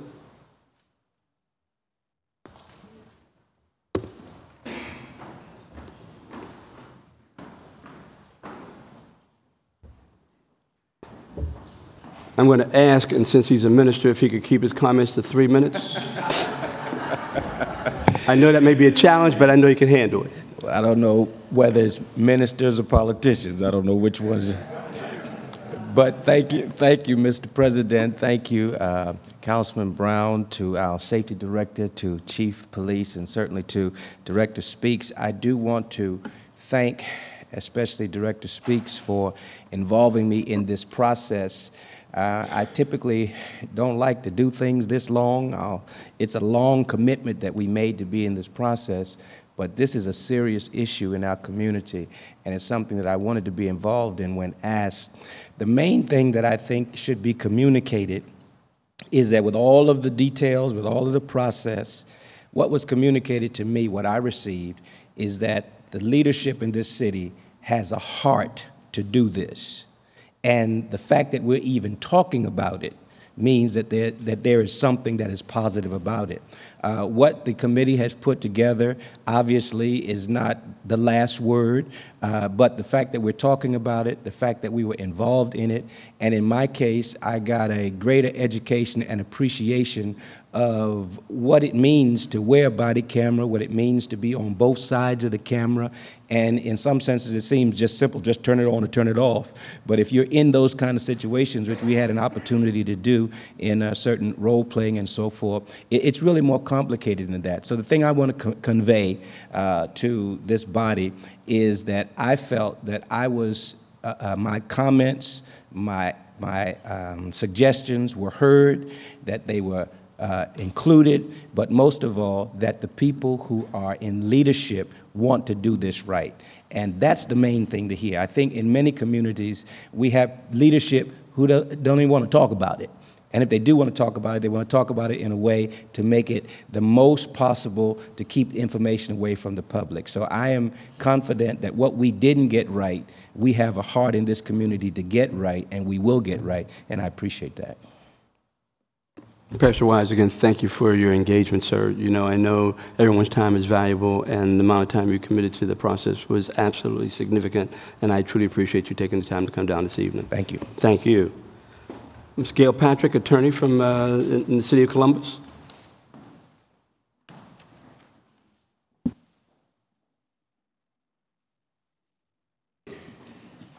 President Klein, Chairman Brown, the rest of City Council, thank you for the opportunity. My role was to research, analyze, and explain body-worn cameras, BWC issues, variations, and choices made by different entities, as well as prepare material for the committee's discussions and deliberations. The committee also learned from the expertise of various topical professionals. They participated in simulation, as Reverend Wise just reported, of various kinds of scenarios where the cameras are often used.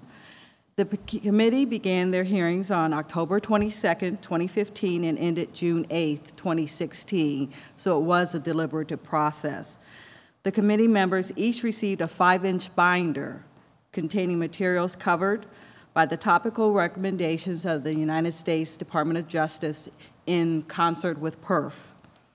The materials included current police department BWC policies across the country, BWC state legislation, articles illustrating a variety of viewpoints about BWC issues, a list of links to actual body camera videos, and nationally suggested policies for police departments implementing, because the ACLU, the FOP, and other entities had also promulgated policies that were of national significance. The committee members offered their expertise on issues such as privacy, technology, criminal justice, and other areas of discussion as was needed. Outside speakers explained the BWC equipment. We learned a lot about that, video issues such as redaction, press concerns, and the Ohio public record laws. There were long and thorough discussions about privacy, since current Ohio law doesn't provide for video redaction. So if an officer entered a home to do a well check on an elderly person, or if they went to the wrong address, that video would be a public record. It also would be on YouTube in all likelihood. As you heard, there's more than 700 channels, which would provide information for any scammer or predator to use. Because the video would show the home's contents and, in some cases, the vulnerabilities of the home's young, old, or disabled.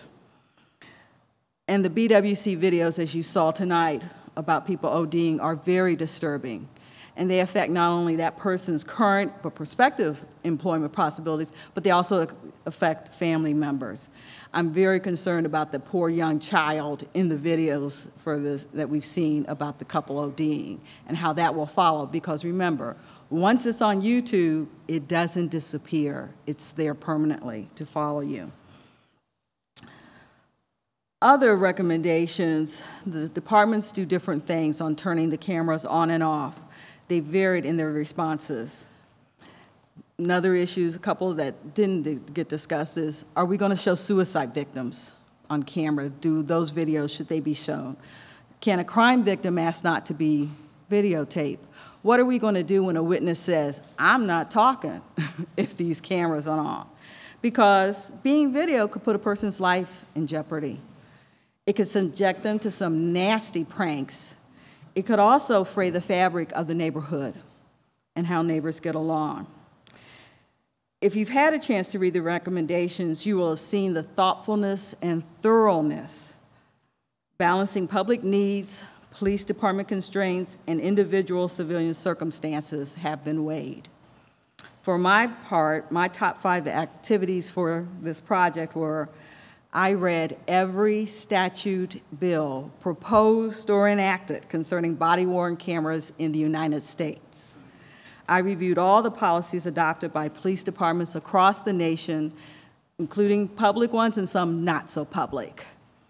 I watched numerous BWC videos. I can't tell you how many people I've actually seen die, more than I certainly ever expected to. I digested articles, presentation, and program transcripts that covered the pros, cons, fears, and hopes for BWC usage and I skimmed the court pleadings and decisions about the BWC video. It's been my honor to serve as staff, providing my expertise to the project. I appreciate the hard work and expertise that other staff, guest presenters, and the committee members themselves provided so that our city could have a BWC policy tailored to our community. Thank you. Attorney Patrick, thank you very, very much. And ladies and gentlemen, she said she read all of them, believe me, she read all of them because she likes to discuss those with me. And I'm like, no, Gail, thank you very much. Uh, um, Abdi Sufi, would you please step down and offer your comments, sir?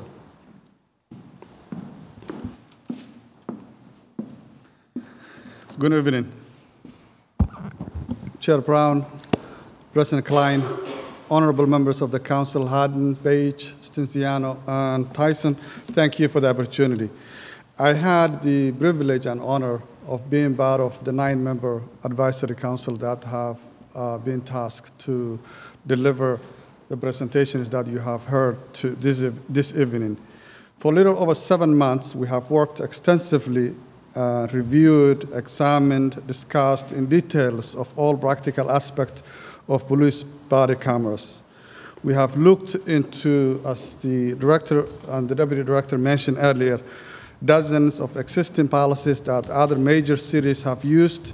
We looked into best practices and recommendations by law enforcement communities as well as civil rights and civil liberty organizations. In my role as the New American Initiative Coordinator with the Department of Neighborhoods, then the Community Relations Commission, I brought my experience and relationship that we have, the people, uh, the different uh, ethnic communities, uh, multicultural communities, minority communities, and those experiences reflected the questions that I was asking during the sessions. we have considered different scenarios, debated all fundamental aspects about the police body camera as far as, as you have heard earlier, technology, privacy, transparency, rights and responsibilities of both uh, the mem members of the public as well as the Columbus police officers. Our res the result of our work is what uh, the deputy director have presented earlier. We do believe the proposal and the recommendation is that we have submitted to Ohio legislator is a comprehensive document that's actually unique for Columbus, and we believe it will help reduce some of the concerns that the Columbus uh, members of the public and as well as the police officers may have. And we certainly appreciate your support and investment in making this project a reality. And thank you. Abdi, thank you very much. Again, the community component with New American Outreach as the coordinator is certainly beneficial. And certainly, as you said, he asked a lot of different types of questions that he thought that nobody else would come up with. And he got the answers as best as possible. Uh, and again, appreciate your time and effort uh, being on the committee. Thank you. Thank you. Ms. Laura Baker Morris, the Chief Prosecutor for the Columbus City Attorney, Mr. Rick Pfeiffer.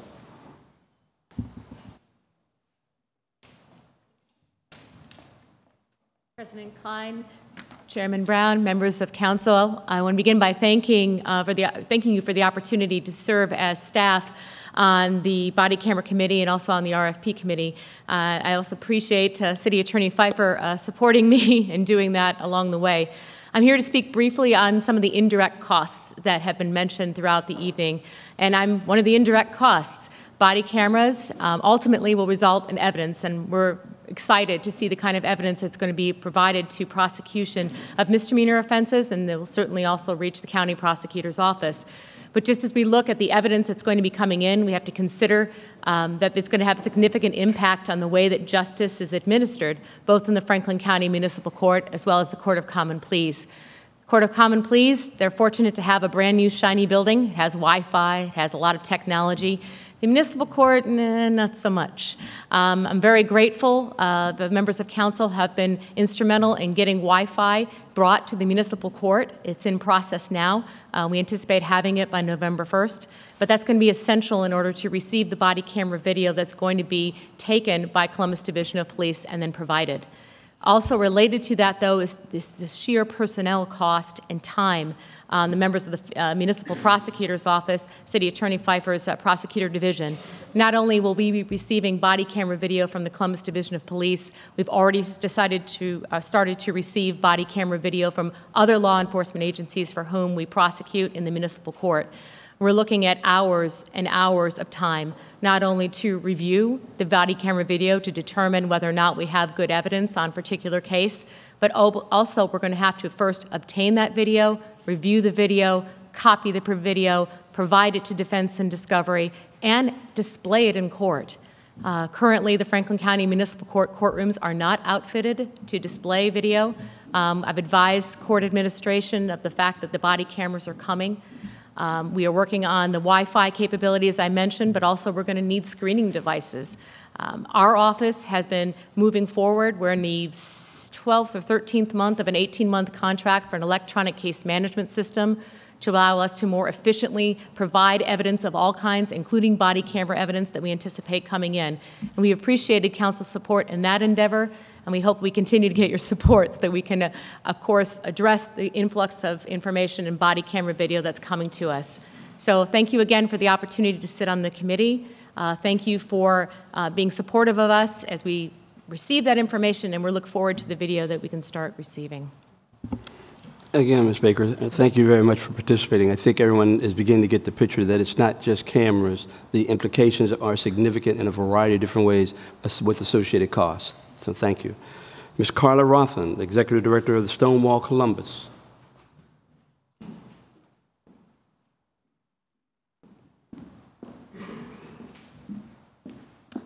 Thank you, Chairman Brown, Council Member Klein, Council President Klein, everyone. Thank you so much for letting me speak today, and thank you so much for trusting me to be on this committee. This was not an easy process, I'm not going to lie. It was long, it was arduous, it was difficult. Some things were difficult to watch, uncomfortable to watch, and, and some things um, uh, did not go everybody's way. Um, a lot of times you think when these uh, committees are appointed, I'm sure that a lot of folks in my family and my friends, oh sure, well you're all just sitting around, you know, uh, trying to figure out, you know, what the policies and procedures are and they don't really know what goes into it. And they think we all agree. Well, we had some very strong personalities and we did not all agree on every single word of the, this policy. So I want to make sure that people know we took it very seriously. It was not easy. And um, I encourage everybody that uh, is wondering what it takes to, to, to be a part of government, to be a part of our city, and to, to work hard and volunteer, to get out there and do it because we need your help. It's not just a bunch of us sitting around talking because we're critical thinkers and we, we really are involved in this because I'm a community servant. That's my job. I work with young people. I work with uh, the poverty. I work with folks that have mental health issues and in my work. And so it was very important for me to be a part of it, but I think it's important for every citizen, you know, to be a part of a process. And, and I'm glad everybody's here tonight. I'm glad we're filling this hall tonight with people that are interested in speaking their minds. It's very important. You know, I'm 52 years old. My mother did not even have a television. This world is changing and we have got to keep up with it. As hard as it may be, uh, this is a generational thing. Everybody's got a camera. And so we need to make sure that we uh, have the, the best practices that we can afford. And just like when you buy your computer at home, you get the best you can afford, and you know tomorrow it's going to change. But you're going to keep up. I trust that our council will. I trust that our mayor's office will. I trust our legislature to do that. And um, believe me, um, I know for myself, and I know this audience, I know we will hold your feet to the fire because that's what it's about to have a wonderful city. And even if it's uncomfortable sometimes, uh, you got to speak your mind and you got to say, you know what, we need this, and this is why. And and you always heed the call. So I'm very very proud of our city. I think this is going to be a model for the nation. I think we took all the things that people didn't do right, and I think we tried to do it right this time. And so I'm hoping that that is true. But always remember, this is just the policy of today, and it can always change. So speak up, talk about it say this isn't working, this would work better, and I know we can do it together. So thank you so much. Ms. Rompin, thank you. Uh, I personally would like to express my appreciation for the entire Body Worn Camera Committee. I want to say thank you for dedicating your time and your effort to ensuring this policy is inclusive and thorough. In addition, I would like to thank the previous mayor, Michael B. Coleman, for initiating this process and convening this respective committee. And lastly, as far as the invited speakers, is Mr. Gary Daniels here, a representative from the ACLU. Mr. Daniels?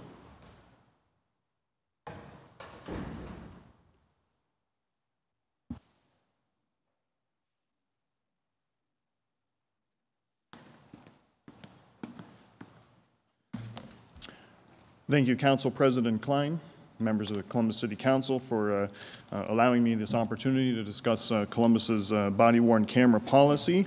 Um, it's clear uh, that the city and the committee tasked with coming up with this policy engaged in a thoughtful and deliberative process, uh, much of what you heard about tonight. We are thankful that you relied on the ACLU uh, model policy uh, to help guide you uh, through the deliberations. And uh, I would like to also uh, particularly thank uh, Deputy Director Speaks, who was very generous with his time in going over the policy and how these conclusions were come to, and for the friendly debate we had about parts of the policy. Uh, this is a complex issue, uh, no doubt. Uh, in the ACLU civil liberties world, uh, this involves police accountability, personal privacy, including those of officers, uh, government transparency, government surveillance, and open records. Uh, like others uh, here tonight, I've reviewed uh, many policies from uh, throughout Ohio uh, and have worked countless hours with state legislators to hopefully get a bill passed that would apply statewide standards across Ohio so that, at least with some minimum standards, no matter where you go in Ohio, those standards are the same.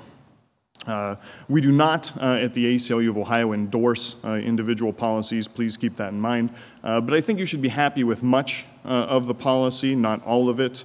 Uh, I think it uh, reflects much of what the ACLU wants in policies, including when the cameras should be activated and deactivated, although that's not perfect. I'll get into that.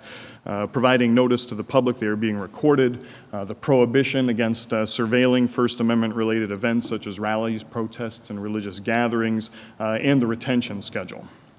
I think, however, uh, that the city would benefit from at least uh, three uh, changes to the policy. Uh, it was mentioned earlier about officers being able to view recordings.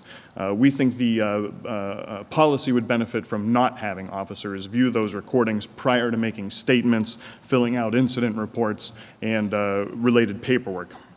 This would help ensure officers do not take liberties with their reporting of controversial events that are not totally captured by the body cameras uh, and will increase public trust that these cameras are being used to provide police accountability.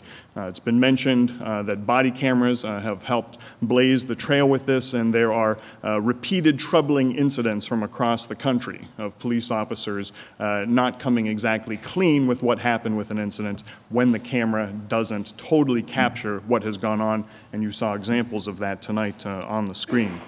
Uh, Number two, uh, the policy suggests uh, that officers should be mindful of sensitive situations uh, and individuals in, in certain situations. Uh, we think uh, it's better to remove as much discretion as possible from officers in those situations. Makes it even easier for the officers in those situations. So when you're talking about schools, when you're talking about private residences, when you're talking about houses of worship, uh, when you're talking about mental health facilities and hospitals and, and all the examples that are talked about in the policy, the de facto should be that those are not recorded uh, unless uh, you are engaging in a law enforcement activity such as a, a drug raid, uh, chasing a suspect, uh, uh, executing an arrest, things of that nature. Um, Finally, um, and again, this isn't a, a, a- a comprehensive list, uh, but uh, um, the policy does not require uh, cameras for plainclothes officers. Um, I understand uh, that there are those who say such a requirement is not practical, and I understand why they say that. Uh, But it was plainclothes officers who shot and killed Henry Green in South Linden. Uh, That's understandably very troubling for many Columbus residents, as it should be, uh, because perhaps cameras could have shed some light on exactly what happened uh, during that incident. Uh, So in light of that and similar situations, we ask that you reconsider that or find a solution regarding this omission.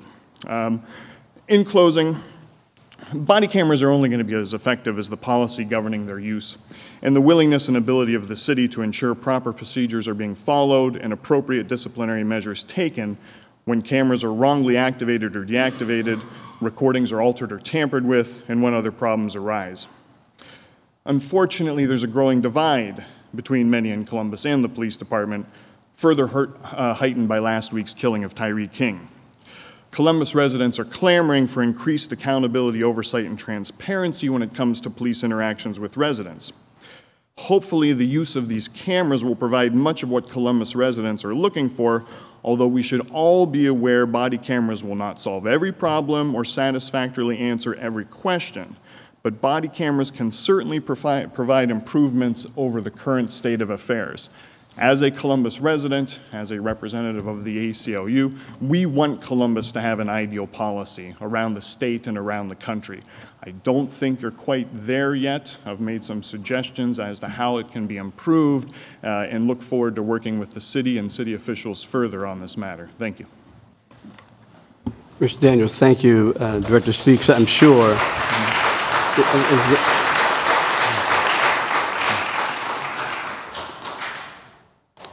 Mr. Daniels, again, thank you for your comments. You've had an opportunity on many occasions to collaborate with the committee, and we'll continue to take your comments under advisement. Thank you. Thank you. Yes, sir. In, in regards to uh, Mr. Daniels' uh, comments, uh, practically speaking, either to the chief or to the deputy director, uh, when it comes to the recommendation of officers viewing the footage um, prior to filling out paperwork, um, how does that work in practicality? Uh, When is paperwork typically required to be filed? Um, if the officer has the video camera evidence, um, I'm guessing they can't plug it into their own smartphone and view it immediately, right? It needs, they need to go back to the station, it needs to be uploaded. Can they view it then at the station? Is that how it's gonna work practically? At the same time, can they fill out their paperwork? I'm just, walk me through what the real-world implication is on this. Well, with respect to the technology, I can't tell you. That's going to depend upon the vendor that is chosen. Um, Bob, do you have any answer to that on the committee? Depends on type of paperwork, uh, Mr. President. It, uh, an arrest uh, is done immediately thereafter uh, for full disclosure. Uh, I'm a very direct person. There are some programs out there where someone can review the video on their phone. There's an application that the vendors offer uh, that would allow that to happen. wow, okay. However, you can also observe them inside of the vehicle. Uh, I would, of course, make sure that I check that fact with uh, Ivan back behind me. Uh, He's more of a DOT So guy. it's that readil- readily accessible? Yes. And if they went back to the um, uh, substation to watch it, or they used the back-end client being in the cruiser, which has Wi, or I'm sorry, not Wi-Fi, but uh, cellular uh, connection, they can review it then. Um, Most of the video that would be watched uh, would be just as a result of an arrest. Uh, Typically, during a report, it wouldn't be, really be uh, relevant uh, you- because you're just recording the facts that uh, the victim gives you. Uh, Does that answer your question? Yeah, it, it And- does. And let me just say that that issue was one of the most debated issues of the committee. We spent an inordinate amount of time on that issue. And I think what swayed the committee was, was three factors. Uh, first, that is a Department of Justice sponsored PERF study that Representative Boyce was talking about. Uh, the PERF study recommends that officers be allowed to review the, middle, uh, the video for the sake of accuracy. Second, the video doesn't change. As Commander Strasbaugh says, the video is the video, will be there forever. An officer cannot change what is on that video. And third, we surveyed virtually every single jurisdiction who has body cameras in the country, and there is only one jurisdiction, Littleton, Colorado, that is following the ACLU recommendation on that. And then we touched upon this uh, when I had my opportunity to ask some questions, and I, I kind of want to go back to it because of something that Mr. Daniel said uh, regarding the um, the discretion of an officer to turn on his or her camera. Uh, and you know, clearly, I think that is you know it's a legitimate concern of determining whether what factors deter- determine ultimately whether the camera should be activated or not activated. Um, if we're fortunate enough to be able to institute the public records exceptions at the State House, uh, just to clarify again, then that yields a more transparent result because it would eliminate the discretion, correct? Because you could, you could constantly run the camera, not have to worry about whether it fits within one of the sensitivity exceptions, uh, because you would have a public records law exception to deal with that sensitivity. I- Exactly, but remember, I think, um, I think Mr. Daniels would acknowledge this, the ACLU is sort of in a bind on that issue. Uh, Mr. Daniels recommends that cameras be shut off before, he said, you go into a school, a hospital, um, a a church. Well, the problem is, something can happen. Um, So we gave that discretion to the officer to determine whether or not that camera should be on. And as you just stated, if we get some Ohio revised code changes, what, we're able to leave that camera on the entire time because that footage would never become a public record. And I also do want to recognize, just for the, the sake of um, discussion, that Mr. Daniels also discussed the, um, the plainclothes officers. I don't want to think that, that I did, did not hear that, because there ended up in a lot of reaction from the audience, and, and there is an appreciation uh, for that argument. Um, And I'm hopeful that as we review these policies, that we can think of ways um, through other technologies that we can somehow capture uh, the, the interactions that police have, whether they're uniform or non-uniform, um, with the public, if that exists. But obviously balancing, sorry, balancing that against the ability, the fact that you are plainclothes and if you're wearing a, uh, uh, not a wire, a camera, um, you would give yourself up as not being plainclothes, which defeats the purpose of being plainclothes. So I, I do, I just do want to recognize to the people that are here that um, that is a, a struggle and tension in my mind as we review this policy. Thank you, Mr. Chairman. Thank you, Council President. Uh, At this time, we will take public comment. I will call the name of the individuals that filled out speaker slips in the order in which they were turned in. Each speaker will be limited to three minutes. Please share your name, address, and any organizations you may represent before you begin your statement. At this time, uh, Shannon Quinchetti, if I'm correct. Did I pronounce that correct? Shannon Quinchetti, Q-U-I-N-C-I-N-C-H-E-T-T-E.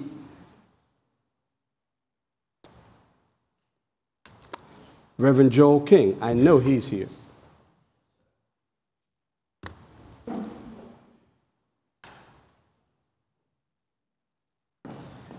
They're, they're not here.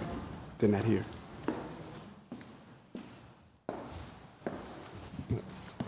Good evening, Council President, Chair Brown, to all the council persons, chief, directors, and to the audience. Reverend Joel King, Associate Minister, Union Grove Baptist Church here in the city of Columbus. Also, President of the National CAN Organization here in Columbus, Second Vice President of the NAACP. 2012, we, as an organization, when we got started here in Columbus, decided to recommend to this city to get cameras on our officers. Uh, that was four years ago, and now we got two more years before we get it 100%. And we've heard this line before in school desegregation, we move with all deliberate speed if we are serious, do we have the willpower as council to enact this legislation as quick as possible to get the cameras on the people, not only the unmarked officers, undercover officers, but also on officers that are doing clothes or doing working at other cities, at other businesses in the city after hours. The policy does not cover that in, in as a policy. What those officers getting paid by businesses that's working in the uniform of a Cologne police officer, do they wear cameras and should be wearing cameras? Another point. My ACLU buddies talked about that as well. Um, cameras can't solve everything. It's up to the community to do their part, as well as the city council. But I just urge you, do you have the will to do that, to make this happen? The practice controversial about pre-reporting. We talked about the cameras, the officers looking at the video. That's a problem they had in, Cal in uh, Colorado because they found out the officer would lie after he filled out the report. So he goes back and look at the camera and trying to match his report up with what the camera's saying. So that you to look at that policy while we're making the policy now. Let's fix it now. We heard that when we put pilot, when we put cameras in the cars. Well, the, the department don't have disciplinary action because of the union. Well, that's another challenge you as council got to do with the upcoming union contract, the disciplinary action to these officers. We've heard the cameras in the cars, oh, it happened to be off. The camera don't work that day. So we don't know what happened. What happens to that officer if he didn't do what he's supposed to be doing? We need to put that in the, in, in, in the policy while we're making it now and not after the fact. Because that's what's been happening in this city. We've heard that through the cameras in the cars. So we don't want the cameras to conven- convenient to be off when they are on the officers and be conveniently not working when they're on office. So I just encourage you to have the willpower. There are several state laws that, that even our president said, if we have the willpower to ask the state house to give us that money to the city, then let's do that as a council body, as, as a community, to urge our residents to employ our, our representatives to make that happen, to make this city a number one city to wear cameras on our offices, to make all of our officers proud, make all of our citizens proud, make this city the city worth living in in Columbus. So I just urge you to have the willpower to put the policy in place immediately at all deliberate speed. Thank you.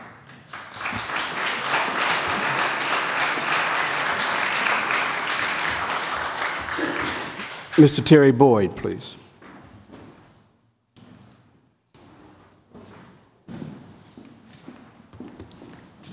Council President Klein, to Chairman Brown, my good friend, yes. to the rest of the uh, city council members, uh, to the chief, chief, and to the safety director. Uh, it's my pleasure to be here this evening. You've heard a lot of comments. My address, I'm sorry, Terry Boyd, 4083 uh, Easton Way, Columbus, Ohio. Thank you. Uh, you've heard a lot of comments, and so I don't want to repeat things that have been said. Um, but I'm not here today uh, as your candidate for Franklin County Commissioner.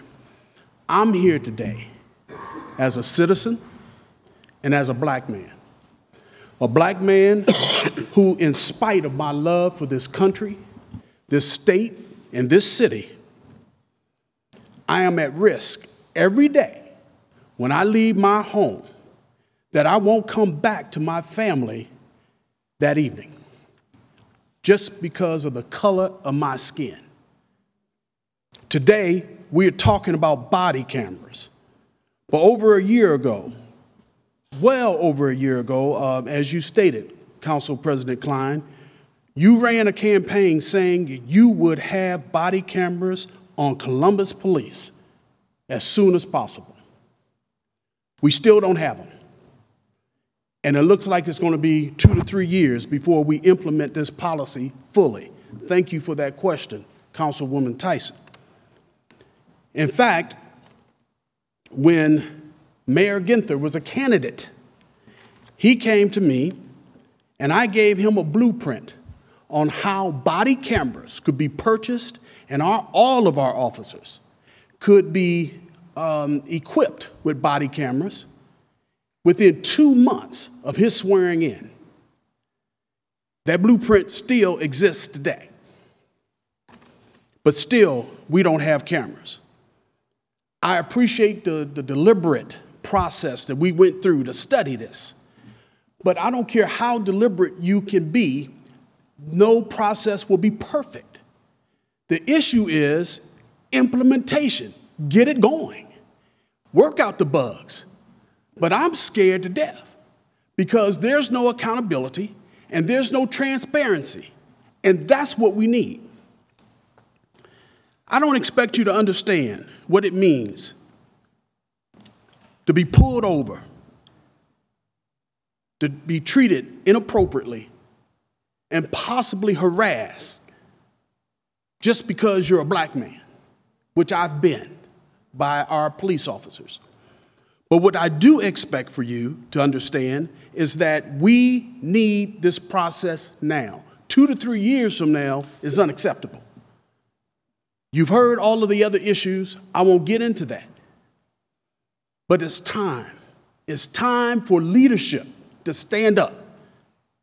President Klein, show real leadership and get this process going. We can't wait another two to three years to wait for a perfect process. We need it now.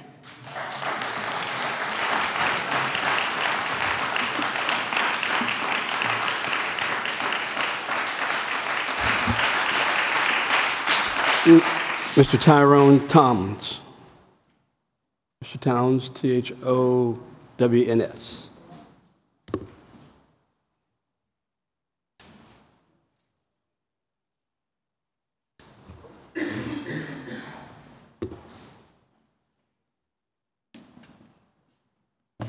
Good evening to all the people in the comfortable seats, and I appreciate you having me here. Those benches are pretty hard back there. A lot of things I wanted to say have been said here today, but I Mr. Towns, to. before you start, give your full name, your Yeah, address, Tyrone and the organization that you're associated with, please. I'm Columbus, Ohio, 43232. I just moved back in the city so I can vote for you guys. I uh, represent police officer equal rights. Uh, I've been a representative for the organization for 20 years. I started in the organization because one night I was accosted by two officers off duty, and I guess I won. But as Terry Boyd said, when I see lights come on in my mirror at night, I'm wondering, is this going to be a good exchange? And a lot of times it's not. It's too late for Tariq King. It's too late for Edward Hayes. It's too late for Dante Bell. It's too late for Dwayne Thomas for cameras to be in the car. And I can go on with a list of names, but those are all people. Dante Bell was shot in the back. Edward Hayes was shot in the back. We're still waiting on an investigation for Tariq King to come forward and tell us the circumstances. If the officer would have been wearing a body camera, it would have been less transparency there than what we have now. This community does not want to engage with our police department because we don't have transparency, and we're tired of it. We're tired of it. Did you look at your news this morning? North Carolina, where people are acting out in anger, frustration, they're traumatized. I'm traumatized. I heard a lady say earlier how many bodies she's seen on the on, on looking at the videos. Think of how many bodies I see every time I go out to one of these incidents where someone is not coming home or someone's laying in the street bleeding out. Okay, we got a lot of work to do. Body cameras should not take this long. Other cities have implemented body cameras in far less time. And I do want to compliment you on your work. I, I, I sit back, I read the packet. This is the first time I've seen it. I'm very impressed at how you've addressed the issue of engaging with our citizens and having cameras on. But every officer that's going to engage with a citizen should be wearing a camera, especially those off duty. I see them every week on campus engaging with people in inappropriate ways. I see them at the Ohio State football game engaging with people in inappropriate ways. They engage with me in an inappropriate ways. A body camera gives me the, the, the ability to take that to task. And I, I'm going to say one more thing about transparency. If an officer engages with you inappropriate, and you don't file a report, that's a lack of transparency too. So if people ain't filing reports and they're talking about it, that, that's a joke. But if they do file a report, let's have all the tools we can possibly have in place to deal with that. Now, the Tariq King killing, it's a shame. Columbus made national news for killing a baby. I don't care how you look at it. We killed a baby in this city, and we're still trying to get to the end of it. That's a shame.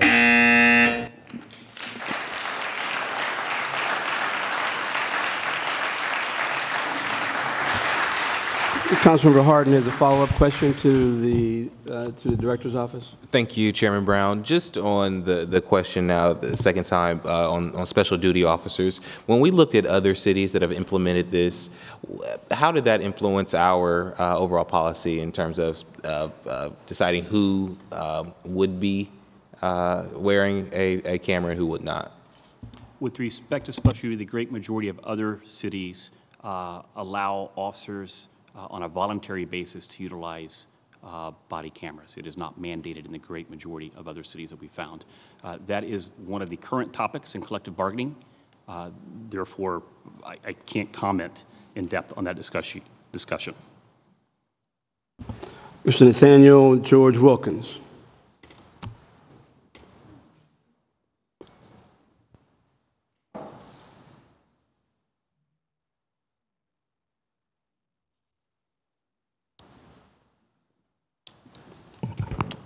Sixteen twelve Arlington Avenue, Mr. Nathaniel George Wilkins, the chairman of solely vacant property in North Linden area. Um, I'm all for this, but it gets another tool for the, for the police department. Also, I would love to know if plainclothes officer will have this. And I'm all for this, and thank you for your time. Thank you, Mr. Wilkins. Uh, As the, you already heard from the Deputy Director, that is an area of discussion currently. Thank you. Mindy Brown.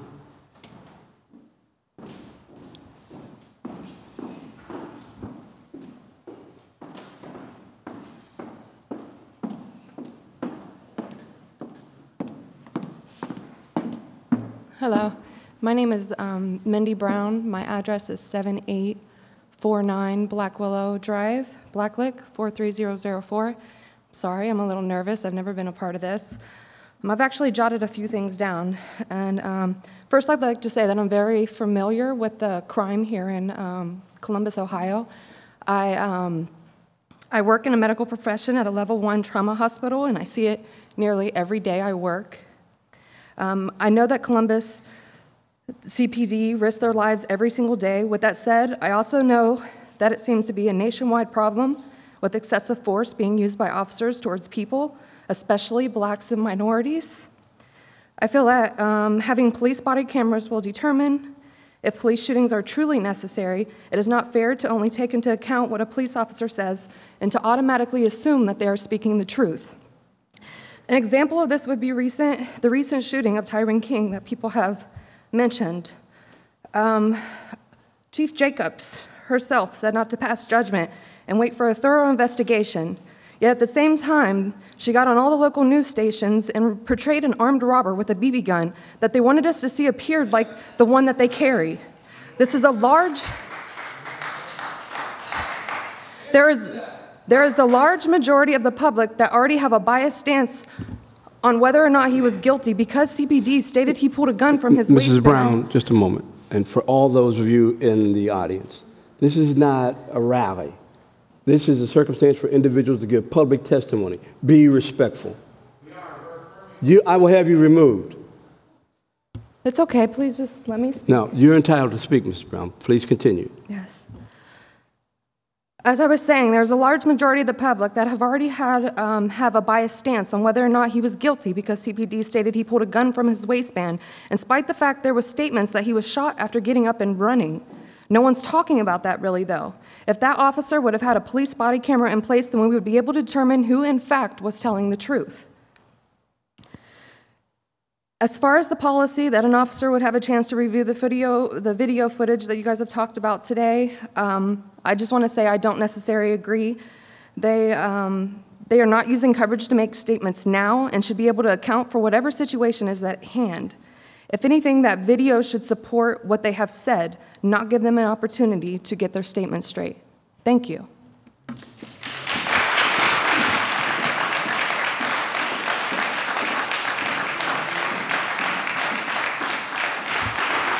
Michelle Turner. Is Ms. Turner here? Madison Gibbs.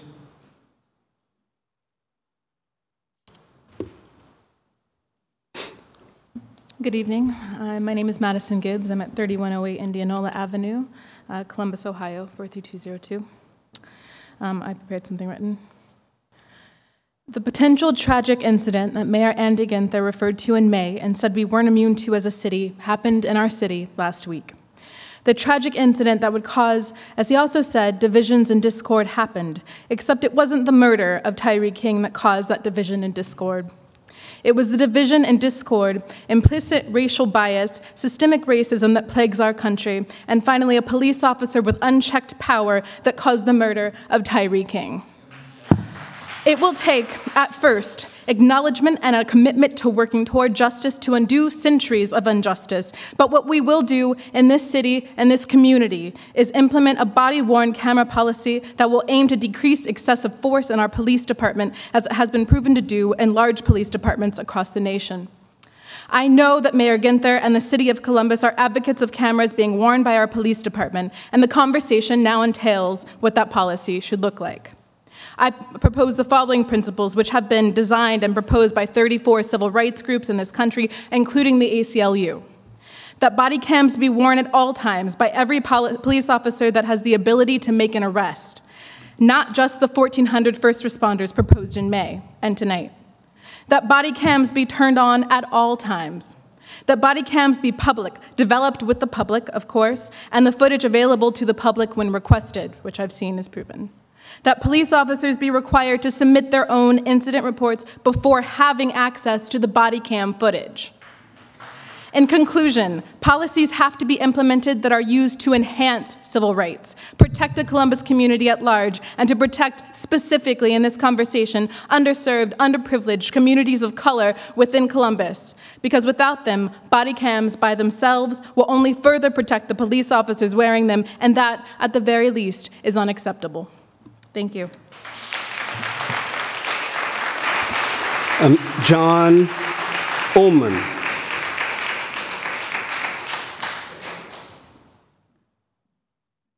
Hi, members of the council. Uh, my name is John Umland. I'm at 426 King Avenue, apartment 1L. Uh, I'd like to begin by expressing my gratitude to the council and to the committee who worked really hard, clearly, to uh, work out the finer details of this. And though I was not involved in those conversations, I have gotten a sense tonight of the immense level of detail and the many questions that go into this. And I'm thankful to you for putting that time into it. I'm glad to know that Columbus is on track to implement body cameras.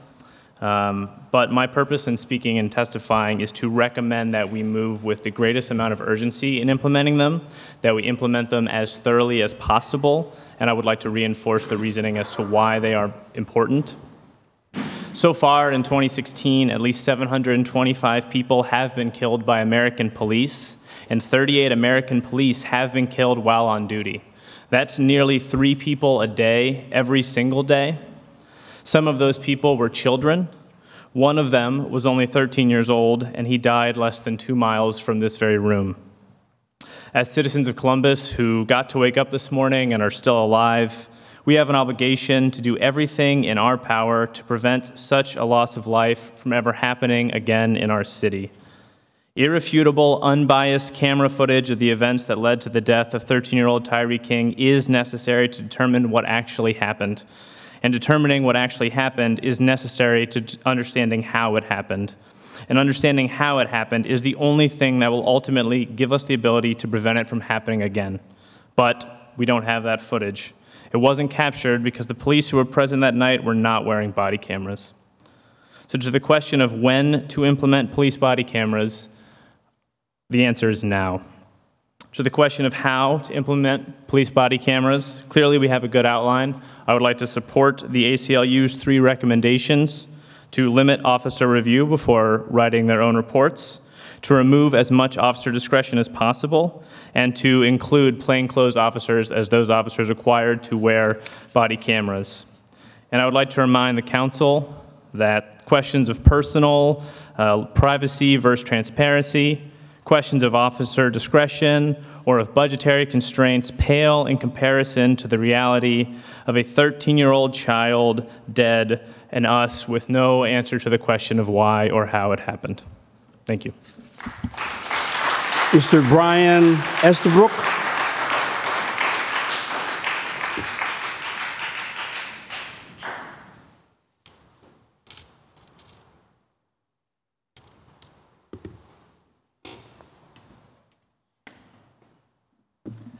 Thank you, council members. I wrote some things down. My name is Brian Estabrook, and I live in Franklinton, 160 Martin Avenue, 43222. I rise in support of the body cameras, uh, but I do so with many, many caveats. Um, firstly, I want to say cameras are not enough. We need robust civilian oversight of police activity in all stages of investigation, from the beginning to the end, not just review of outcomes that have already been decided. The president of the Police Foundation, which is headed by a former police chief, said, "Police, sorry, people will make the mistake of thinking that we can solve all problems by just giving cops a camera." But the question for me is how do we actually evaluate the evidence that comes through? Many people here who I think may be more optimistic than me seem to think that if we actually had video of what happened last Wednesday to Tyre King, that we would actually be able to do something with it. But we look at just recent history and we see Michael Garner, we see Alton Sterling, we see just this week Terrence Crutcher in Tulsa. Clear, demonstrable video of police murders of civilians. And what's happened in those cases? Well, Michael Garner and Alton Sterling, nothing has happened to, to the police officers involved. And in fact, everybody got off, everybody got away with it. So, what are body cameras going to do to help us actually solve this problem? Let me propose that we, tru- that we create a truly transparent, accountable uh, civilian oversight and review board that can review this video evidence, can review police activity, and can have oversight on what is done with that and how officers are disciplined and treated later. Short of this, body cameras will simply be nothing but an expensive budget line that does nothing to increase community trust. And actually, there's some evidence to support the fact that they may increase uh, uh, inappropriate police activity. Um, there, there's a Cambridge study that basically says that um, officers who are given discretion of when to turn on and off the cameras actually, uh, there was a rise in police complaints. Um, so I would heavily, heavily uh, ask the council to consider that.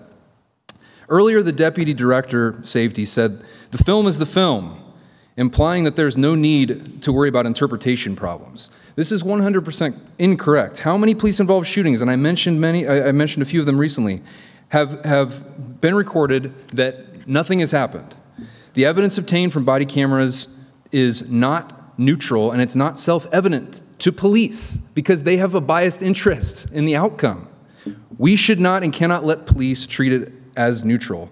We have to have robust civilian oversight and review embedded in every part of the process. Thank you. Marcus Gordon.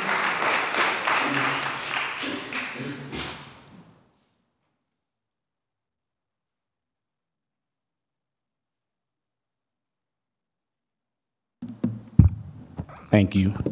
Um, President Klein, Chair Brown, the rest of the council. Um, I am here tonight as, I'm sorry, Marcus Gordon, 3318 Edgebrook Drive, Columbus, Ohio. I'm here tonight as a concerned citizen and nothing more. Um, I applaud the city of Columbus. I applaud you guys for taking the initiative to implement body cams into the Columbus Police Department. My hope is that the cameras will help bring clarity to situations that otherwise would cause more questions than provide answers. But there's a bigger picture here, and that's the relationship between law enforcement and those that are in the underprivileged, underprivileged poor communities here, not only in Columbus, but across the nation. And until we take politics and personal interests to the side and take it out of the equation, these things won't change. In the age of social media and a never ending news cycle, sensitive, complicated issues have been reduced to sound bites and headlines. So the question becomes are the powers that be willing to invest the time, resources, um, and money to create lasting solutions for both the people and law enforcement as well? Um, Director Pettus mentioned it early on about transparency, and you've heard that word over and over and over again transparency. I cannot stress the importance of it, but I'm referring to real transparency. In the material provided tonight, as it relates to the officer's discretion to turn the cameras on and off or what may be redacted, I have serious issues with that. 13 year old Tyre King lost his life here last week, and as an average citizen, I was told to wait for the facts. But then I also turned on the TV to watch a press conference that to me painted a picture and began to tell a story and a narrative while not um, showing anything on the other side. That's not transparency to me, that's an agenda.